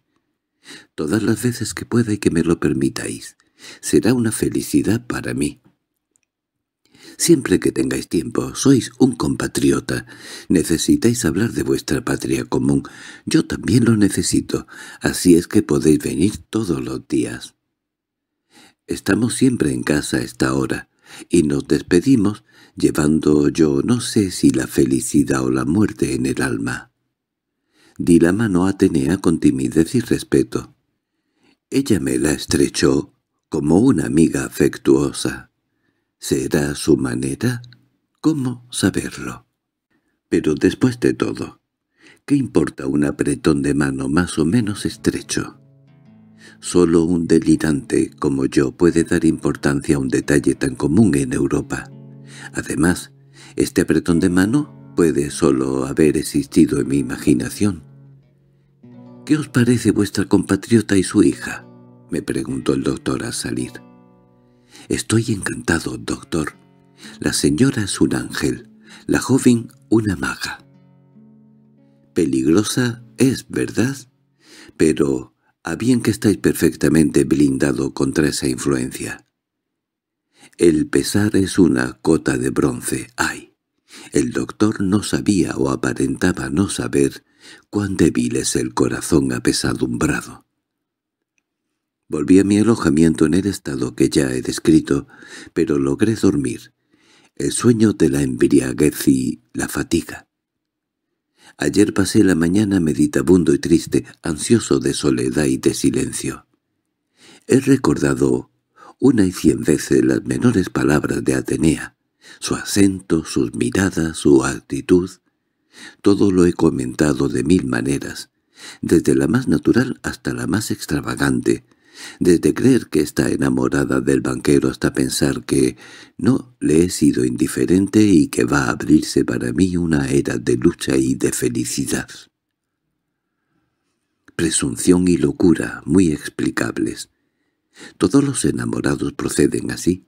Mientras ignoran, la felicidad se acerca a ellos o se aleja, como los mirajes que fingen el desierto la imaginación calenturienta. En la tarde vino el doctor y yo le consulté seriamente si podría visitar también esta noche a nuestras amigas. «Claro, amigo mío, puesto que os han autorizado y lo deseáis». Nada me sería más grato, doctor. Yo no voy al teatro ni tengo aún conocimiento de Venecia, y aun cuando los tuviera, no lo encontraría tan encantador como este que vuestra bondad me ha proporcionado. Pues bien, iremos, después de comer y de hacer un paseo. Podréis, entre tanto, recorrer esta poética ciudad poco a poco. Efectivamente, hicimos nuestra visita, y como la noche anterior fui recibido cordialmente. Pero encontramos mayor concurrencia. Había varias señoras a quienes fui presentado. Atenea tocó en el piano admirablemente y en diversas ocasiones el banquero, que parece ser un aficionado, estuvo cerca de ella, volteando las hojas del papel de música. ¡Oh! ¡Qué odio me inspiró la música! Al fin Atenea me consagró unos instantes. «Perdona», me dijo, «anoche creí encontrar en algunas palabras del doctor Gerard la seguridad de que no erais un proscrito político como yo me figuraba». Efectivamente, no estoy proscrito en mi país. Y por otra parte, debí haberlo comprendido desde luego, por vuestra resolución de residir definitivamente en Venecia. Los proscritos políticos viajan, añadió sonriendo, mientras que sus enemigos dominan, pero se mantienen siempre pendientes de sus esperanzas y no bien cae el gobierno proscriptor cuando vuelan a su país. Es cierto, y yo no pienso volver al mío. Pero entonces, ¿habéis sufrido algún inmenso pesar que os hace buscar el olvido en tierra extranjera? El olvido no sería bastante. Entonces, habría algo más definitivo y más eficaz. —¡La muerte! —exclamó palideciendo y asombrada. —Pero esa es la desesperación. Es simplemente la convicción, es el tedio, El tedio es como un océano amargo cuyas ondas al llegar a los labios hacen desear la muerte como un refugio. —¡Me espantáis! Y no me atrevo a preguntaros la causa de tan terrible dolor, pero me interesa vivamente. Y sin embargo, señorita, nada hay más sencillo y menos misterioso. Y que menos pudiera impresionaros, os puedo contar todo a vos, un ángel. Ah, contadme, contadme, pero no ahora. Hay mucha gente. Nos distraerían y la confidencia es un misterio sagrado. Podéis venir mañana por la tarde. Estaremos solas, mi madre y yo. Me interesa vuestra historia. Pero, os repito, no es una historia de complicación romanesca ni de peripecias dramáticas, es una historia íntima, callada, oscura, en que no hay más resortes que el sentimiento, ni más personajes que dos corazones que se aman, ni más tiranos que el destino. Ah, y decís que no es interesante, pero con eso solo se hacían las tragedias antiguas y se hacen las historias que conmueven. Yo creí que en nuestro siglo no existía ya eso, sino en la imaginación de los poetas. Pero vosotros los americanos tenéis cosas nuevas, sois primitivos. Es preciso conoceros para creer en los sentimientos que han desaparecido de nuestro viejo suelo de Europa agotado por la civilización. Yo no opino así, señorita, y atribuyo vuestro modo de ver a vuestra juventud y tal vez a vuestra educación, al medio en que habéis vivido, a vuestra inexperiencia complicada con vuestra instrucción, el amor vive aún en Europa como en todos sitios. Bien, ya hablaremos de eso. Vendréis mañana, ¿no es verdad? Vendré, aunque no sea más que por la esperanza de que creáis en la realidad, al mirarla en el fondo del abismo y aunque no soy un ángel como decís, yo procuraré que recorráis conmigo las alturas serenas de otra región en que no domina.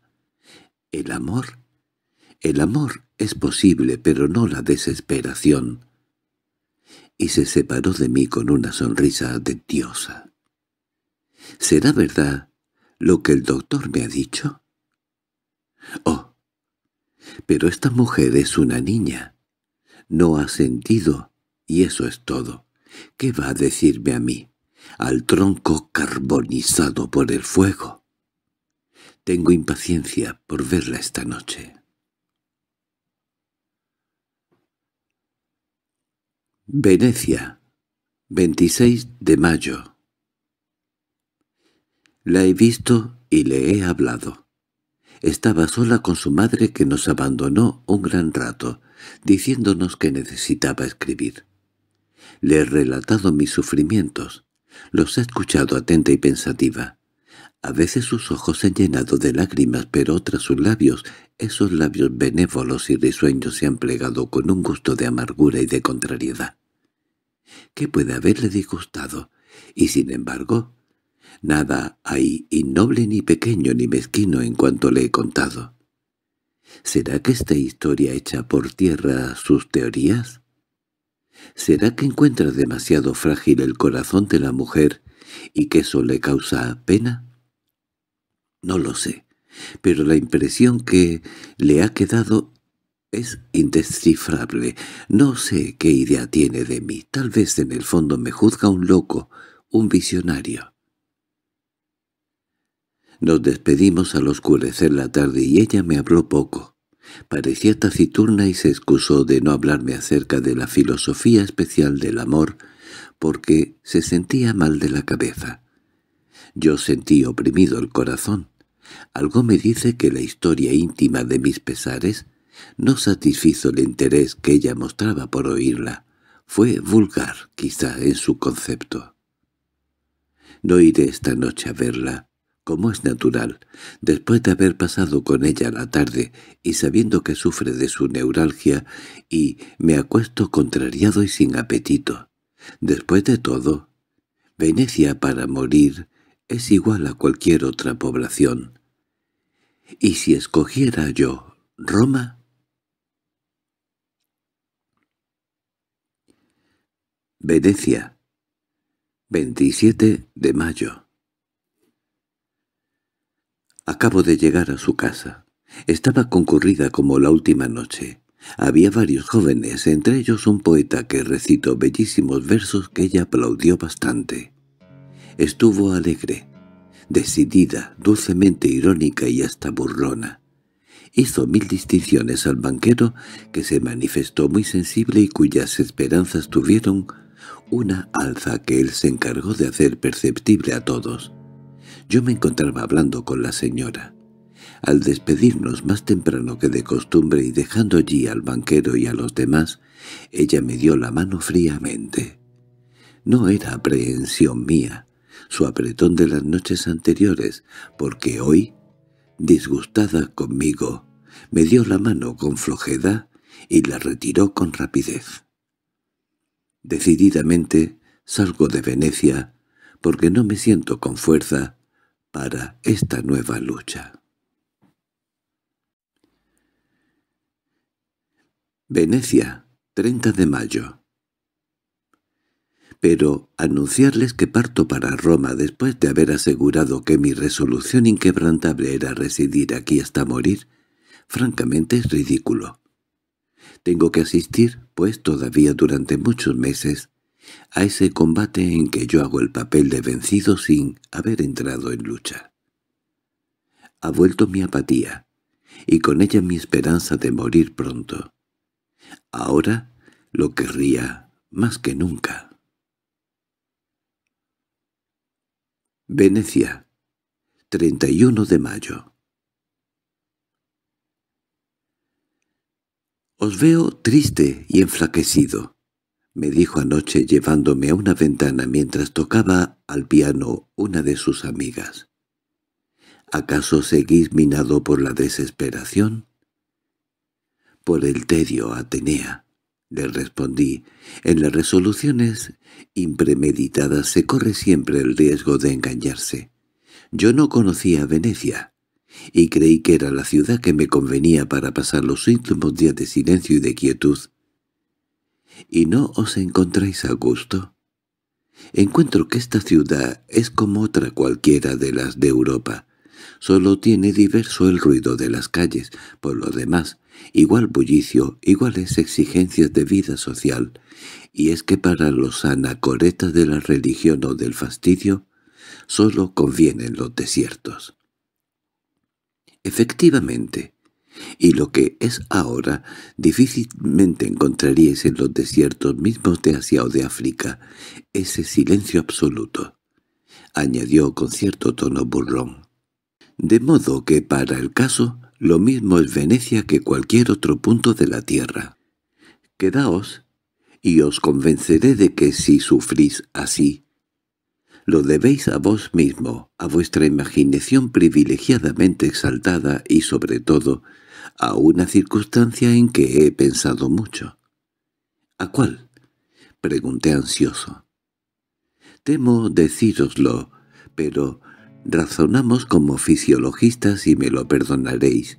Si vuestro amor hubiera sido ideal, si hubiera tenido las puras alas del espíritu con las que se eleva hasta las alturas celestes, si no hubierais hecho consistir vuestra felicidad en los goces pasajeros de la tierra. Las esperanzas de la unión eterna impedirían con un rocío benéfico que se secara vuestra existencia, abrasada hoy por la desesperación.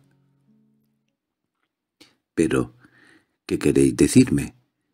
¿Que mi amor ha sido solo sensual, solo impuro, que he sacrificado a un ídolo de barro? Yo digo que la intimidad en que vivisteis, que la contracción de todos vuestros sentimientos, de todas vuestras creencias en ese amor absorbente y dominador, ha sido causa de que al desaparecer el objeto único de vuestras aspiraciones os deje como un árbol sin savia. No habéis alimentado en el alma nada que fuera inmortal como ella, y que viviera en vos todavía, consolándoos y aun haciéndoos partícipe de felicidades que no conocéis, porque no las habéis buscado. Atenea, le respondí, tenéis ideas acerca del amor muy singulares. De seguro no lo conocéis, puesto que habláis así. Lo habéis visto en vuestros libros y tal vez en vuestro pensamiento de niña, pero no lo habéis sentido jamás. Es cierto, jamás lo he sentido, pero así lo concibo solamente. El mundo y el tiempo se encargarán de modificar vuestras opiniones. Y bien, ¿queréis que hagamos una cosa? No podemos hablar aquí de esta materia largamente. Escribidme vuestras teorías. Tendré gusto en discutir con vos y os escribiré a mi vez mis opiniones. Yo soy una estudiosa y si no os parece extravagante mi petición, obsequiadla. ¿Me escribiréis? Os lo prometo. ¿Cuándo? Muy pronto. Es demasiada honra la que me hacéis para declinarla y la acepto aunque tengo miedo de confirmar la mala impresión que os he causado con mi confidencia. ¿A mí? A vos. He creído descubrir en vuestra conducta para mí, a pesar de la admirable delicadeza con que la habéis velado, un sentimiento de disgusto algo glacial que me ha llegado aquí, dije señalando el corazón. —¡Oh! ¿Yo disgustada? —me respondió con sorpresa. —Seguramente no lo habéis comprendido, Dios mío. ¿Y habéis estado estos días bajo semejante impresión? —Sí, impresión indecible —añadí tartamudeando—. Me perdía. —Mirad —me dijo tratando de separarse—. En todo caso, no es disgusto lo que vuestra confidencia me ha causado. Ha sido asombro. Ha sido una revolución completa en mis ideas preconcebidas, qué sé yo. Perdonadme, podéis causarme terror, pero nunca disgusto. Escribidme y traedme vuestra carta en la tarde, pero... ¿No me escribiréis vos también? También, pero necesito hablaros antes. Y me dejó sumergido más que nunca en un océano de reflexiones para no dar pábulo a las observaciones sobre todo del banquero con mi taciturnidad, hice señas al doctor y nos despedimos. No sin que Atenea, al apretarme la mano me dijera, «Pronto, ¿no es verdad?» «Muy pronto», repetí. Venecia, 2 de junio. Qué singular capricho discutir conmigo acerca del amor. Es casi una extravagancia de su parte. ¿Exigirá lo mismo de todos sus amigos? ¿Pensará reunir en un volumen todas las opiniones acerca del amor? Esta sería una obra como la del cardenal Bembo. Sin embargo, yo sentiré placer en esta correspondencia y la comienzo. Es una manera de hablar con ella frecuentemente. He aquí mi primera carta. Atenea, no habéis amado nunca y esto me coloca en un terreno estrecho y difícil para hablaros de amor. Queréis conocer mis ideas acerca de este gran asunto de la vida, y ya habéis sabido antes no sólo cuál es mi teoría, sino cuál ha sido la terrible realidad de que he sido prueba a costa seguramente de mi existencia.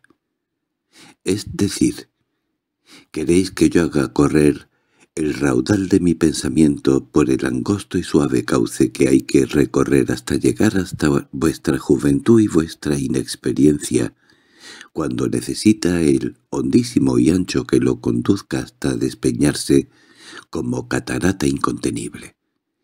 No puede ser, y no escribiría si no fuese porque deseo siquiera desvanecer, en parte, la idea que hayáis tenido de mi carácter que creéis culpable por causa de mí mismo.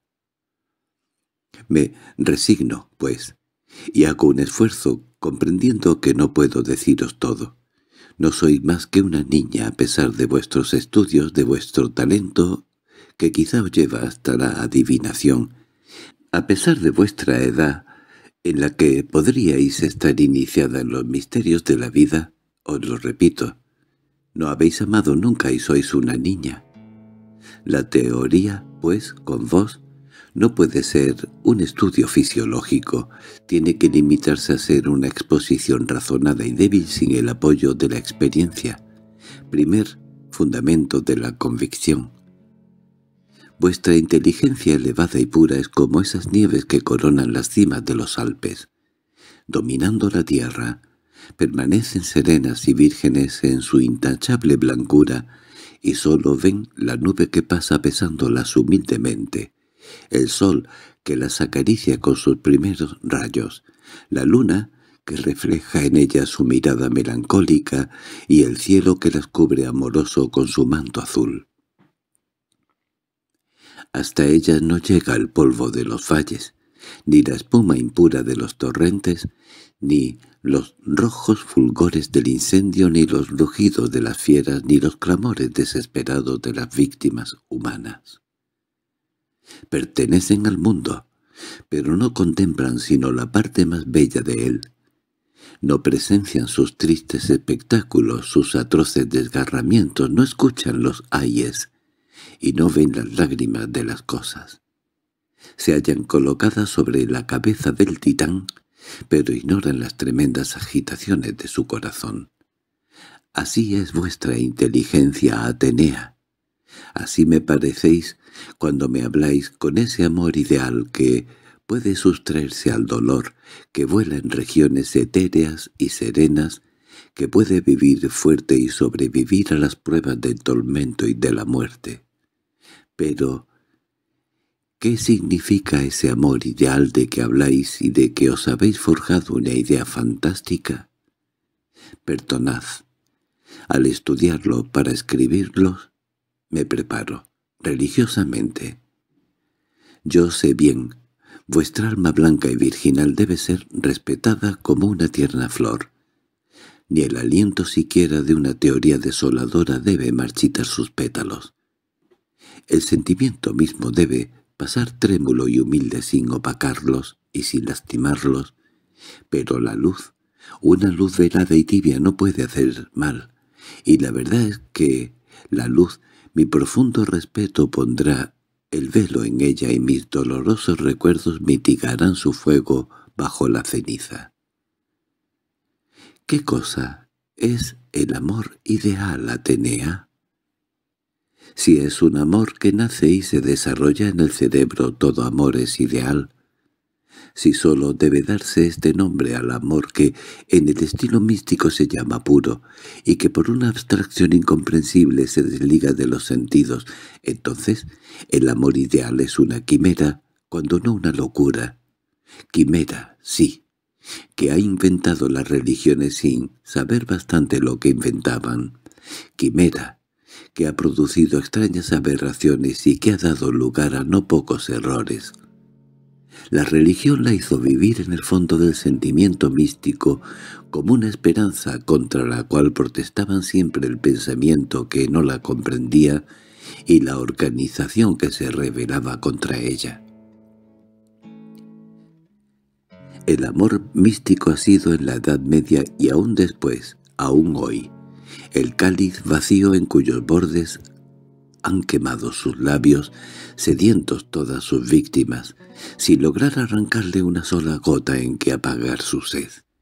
Pensadlo bien, pensad en esas pobres vírgenes enamoradas del ideal y que se arrancaban voluntariamente a las leyes de la naturaleza del mundo para encerrar en un claustro su corazón reposante de juventud y fuerza y su alma llena de aspiraciones infinitas que sólo creían satisfacer en el silencio de la contemplación y en la comunicación directa con el cielo.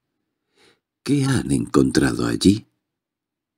El mutismo cruel, en que se envuelve la vida monástica no ha podido revelarnos las descripciones frenéticas, los arrepentimientos sombríos, las maldiciones en voz baja que se han estrellado millones de veces contra las frías losas del altar o contra los altos y callados muros que se le separaban de la vida social.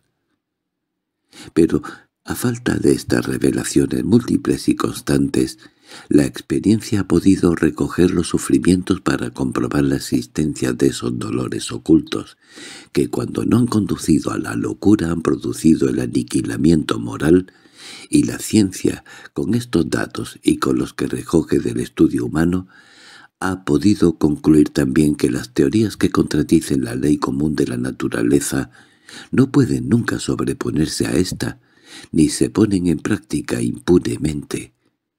Pero ya me parece oíros decir que no habéis querido hablarme de ese amor ideal cristiano, producto de una época, y que se resolvía en un ascetismo monástico y en consunción física y moral. Pero entonces, Atenea, ¿de qué amor ideal habéis querido hacer mención? ¿Acaso del amor que Platón inventó como una teoría y que deriva de él su nombre de amor platónico?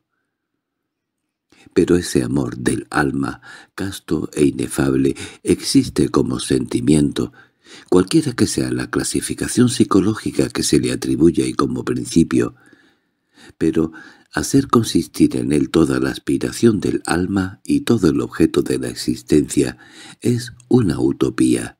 Se necesitaría no ser humano para creerlo realizable. Precisamente, el cristianismo neoplatónico fundó en esta teoría loca su amor místico y ya vemos que ha extraviado a la humanidad. Pero el cristianismo, al menos, pretendía arrancar las aspiraciones humanas de la tierra y elevarlas solo a las esperanzas eternas de una vida mejor. Las miradas del enamorado místico debían apartarse para siempre del mundo y fijarse solo en Dios, buscándolo siempre entre las nubes del éxtasis o entre las ficciones de la alucinación. Pero aplicar estas exigencias al amor humano, eso, lo comprenderéis, Atenea, con vuestro altísimo talento, es absurdo porque es imposible. El alma enamorada de un objeto de la tierra puede vivir soñando mientras que espera, mientras que aguarda, pero la desesperación no tiene sueños consoladores y un objeto de la tierra no tiene a su disposición un paraíso más allá de la muerte, para hacer esperar a sus amantes. El amor sin esperanza acaba por convertirse en tóxico o por desvanecerse. Ahora bien, ¿Qué esperanza es esta que es la única eficaz para dar vida al amor? Pues esa esperanza es la misma que alienta el amor místico, la posesión. Solo que en esta es la de los goces eternos con la vida inmortal y la de aquel es la posesión del objeto amado. Posesión, perdonadme, no es una palabra indigna aunque el vocabulario vulgar la haya desnaturalizado. Posesión en el amor es la conciencia de ser correspondido y de haber fundido en otra alma los sentimientos de la nuestra. Esto basta para poseer. Pero para producir semejante convicción se hacen indispensables los medios, y estos medios son precisamente los que marcan el límite entre la falsa teoría de amor ideal y la verdadera del amor conforme a la ley humana, a la ley de la naturaleza. En vano se buscará expresión del amor en otro medio. El origen mismo de él no puede resistir más que en los sentidos. Para dejar el estilo nebuloso de la abstracción supongamos, Atenea, que yo estoy enamorado de una mujer. ¿Quién es esa mujer? ¿Una mujer ideal? Entonces es un sueño poético y aún así ese ideal ha tenido su origen en la contemplación de la mujer real. El objeto no es definido, no tiene nombre, no existe, como sujeto en la tierra es puramente subjetivo, pero semejante mujer no podría producir un sentimiento que mereciese el nombre de amor. Sería cuando más el capricho de un pintor o la fantasía de un poeta. No debemos tomarlo en cuenta. Más positivo, aunque pertenezca a la fábula, sería el amor delirante de Pigmalión a su Galatea de mármol. A fin era un objeto viviendo fuera de la imaginación. Y la prueba de que la desesperación no puede hacer vivir el amor es que la poesía antigua, filosófica ante todo, fingía que los dioses mismos se habían conmovido ante la pasión terrible del escultor griego y que habían, para satisfacerla, hecho el prodigio de animar la estatua. Últimamente, un joven sabio alemán se enamoró de Cleopatra, pero este amor retrospectivo es imposible, fue una locura que a lo sumo debe tomar en consideración la arqueología a la cual produjo algunos resultados. No, no. Semejantes manías son otras tantas aberraciones que no pueden contradecir la ley general. El amor vive de los sentidos. Ellos suministran su savia al árbol, ellos soplan el fuego de la hoguera. Sin ellos el árbol se seca y la llama se extingue. Y no quiero decir que sea necesario que el sensualismo en amor llegue al extremo, no.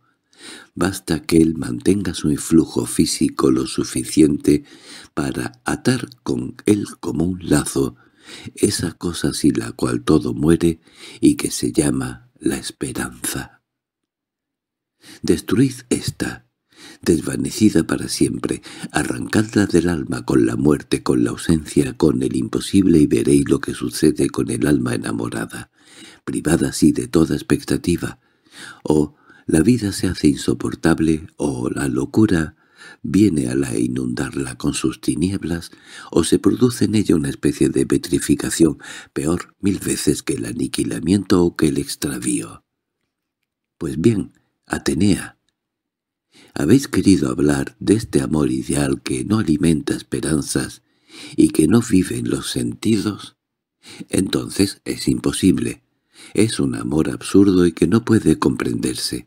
Al contrario, habéis querido sacrificar así el amor que aunque habiendo tenido su origen en la fuente común y alimentándose de la contemplación física, de las miradas, del acento, del contacto, aunque sea leve e insignificante, de la persona amada, no aspira sin embargo a la posesión suprema y no funda en ella su felicidad absoluta? Entonces, ese amor, rigurosamente hablando, no es ideal, será casto, pero es sensual. Los amores castos tienen también una escala infinita de goces puramente sensuales. Desengañaos, inexperta niña. El amor no puede ser más que sensual. Las bellas y poéticas idealidades que se forman en el éxtasis del alma enamorada han nacido en los sentidos, como las blancas nubes que se elevan a las alturas del espacio, han tenido su origen en los vapores de la tierra. Ahora bien, ¿me condenáis aún? ¿Pensáis que he traspasado las leyes del amor inmortal? ¿Creéis todavía que me he arrastrado como un gusano en el cielo de los sentidos y que no he querido volar por los espacios etéreos como no sé qué águilas maravillosas que habéis soñado en vuestras fantasías juveniles e inocentes. Yo he amado así, sí, he amado con toda fantasía juvenil, he amado con toda la energía de mi alma, porque he sentido con toda la energía de mis sentidos. Si he tenido algún privilegio ha sido el de sentir de una manera extrañamente poderosa lo que organizaciones frías o vulgares no habrían experimentado. Pero también concededme que esto no puede ser una monstruosidad, solo que unos lo obtienen con exceso mientras que otros no traspasan ciertos límites que les marca su organización peculiar. También os ruego que me concedáis otra circunstancia atenuante. ¿No todos los seres inspiran un sentimiento igual? Los hay que, de tal modo privilegiados que no pueden menos que inspirar pasiones extraordinarias. Aún me atrevo a creer que este fenómeno es más bien objetivo que subjetivo. No se puede atribuir un gran carácter al que no lo tiene. No se puede forjar una diosa con una simple mortal. Algún día, que el cielo os libre de ello, experimentaréis por vos misma que no todos los hombres son superiores y que los fantasmas que a veces finge nuestra ilusión o que anima nuestro deseo no se sostienen, sino cuando la realidad, una realidad que está fuera de nosotros, los apoya y los confirma. El Dios que nosotros elevamos y que no impera por su poder propio, corre el peligro todos los días de ser derribado de sus altares por nosotros mismos. Nada más frágil que lo que crea nuestra imaginación, pero nada más fuerte y más irresistible que lo que se impone por su propia grandeza. Y bien, yo os aseguro, por triste que sea la idea de que tengáis de mi carácter, que no me habría sentido subyugado por un poder creado por mí, que mi espíritu escéptico y orgulloso no habría tribulado oculto a un ídolo salido de mis manos, en fin, que mi criterio, hijo siempre del análisis, no habría tomado nunca la ilusión por realidad. Ah, no. Atenea, no.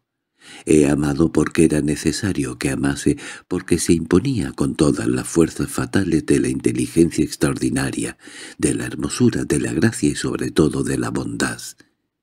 El Dios existía fuera de mí e imperaba su propio prestigio. Ya os referí cómo se apareció en mi camino, cómo luché por sacudir su influencia absorbente, aunque dulce, cómo sufrí, cómo pensé. Pero fue lo ineludible y caí postrado como un creyente primero y como un fanático después. Viví, ay, de los sentidos, es cierto, pero ¿de qué había de vivir sino de ese amor incandescido siempre por la intimidad de todos los días que había llegado a ser para mí el culto y la ocupación exclusiva de la existencia, que me había hecho olvidar de todas las preocupaciones de la vida social, que me había hecho indiferente las aspiraciones de la política, las comodidades del bienestar, incluso de los goces de la gloria misma, que había matado en mí la previsión, que en la embriaguez de mi felicidad había tomado de mi pensamiento la idea de la muerte.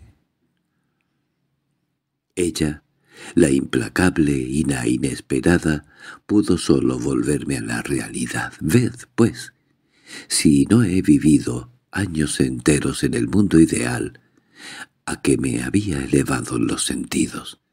Ellos solos no hubieran podido sumergirme en ese océano azul y luminoso que cubría con sus ondas la vida entera y cuyas playas confinaban con el infinito inmenso de la eternidad.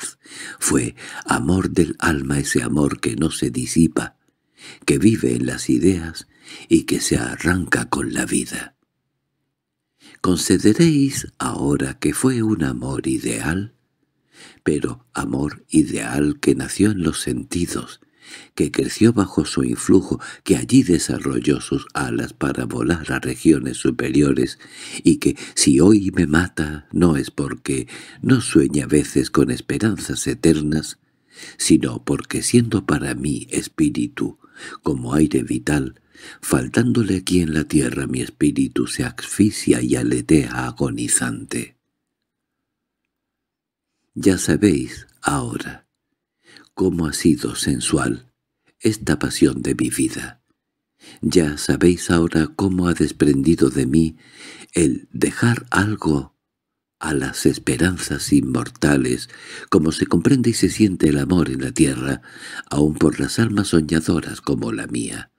Toca después a la experiencia enseñaros la verdad de mi teoría, y toca a vuestro propio corazón el confirmarla. No lo deseo por vos misma. Querría que pudieseis sustraeros a esa ley irresistible porque os ahorraríais un mundo de dolores, de inquietudes y tal vez de desesperación. Tenéis un alma poética y elevada. Sufriríais mucho. El amor en talento se convierte en una corona de espinas que desgarra el corazón. Da la felicidad, felicidad única, pero en cambio, que cáliz hace beber si se disipa como un sueño. Ese veneno es superior en amargura al sabor inefable del néctar que no hace más que tocar los labios. Quedad libre de semejante peligro. Soñad, sed dichosa, y no me condenéis. Al contrario, compadecedme. Fin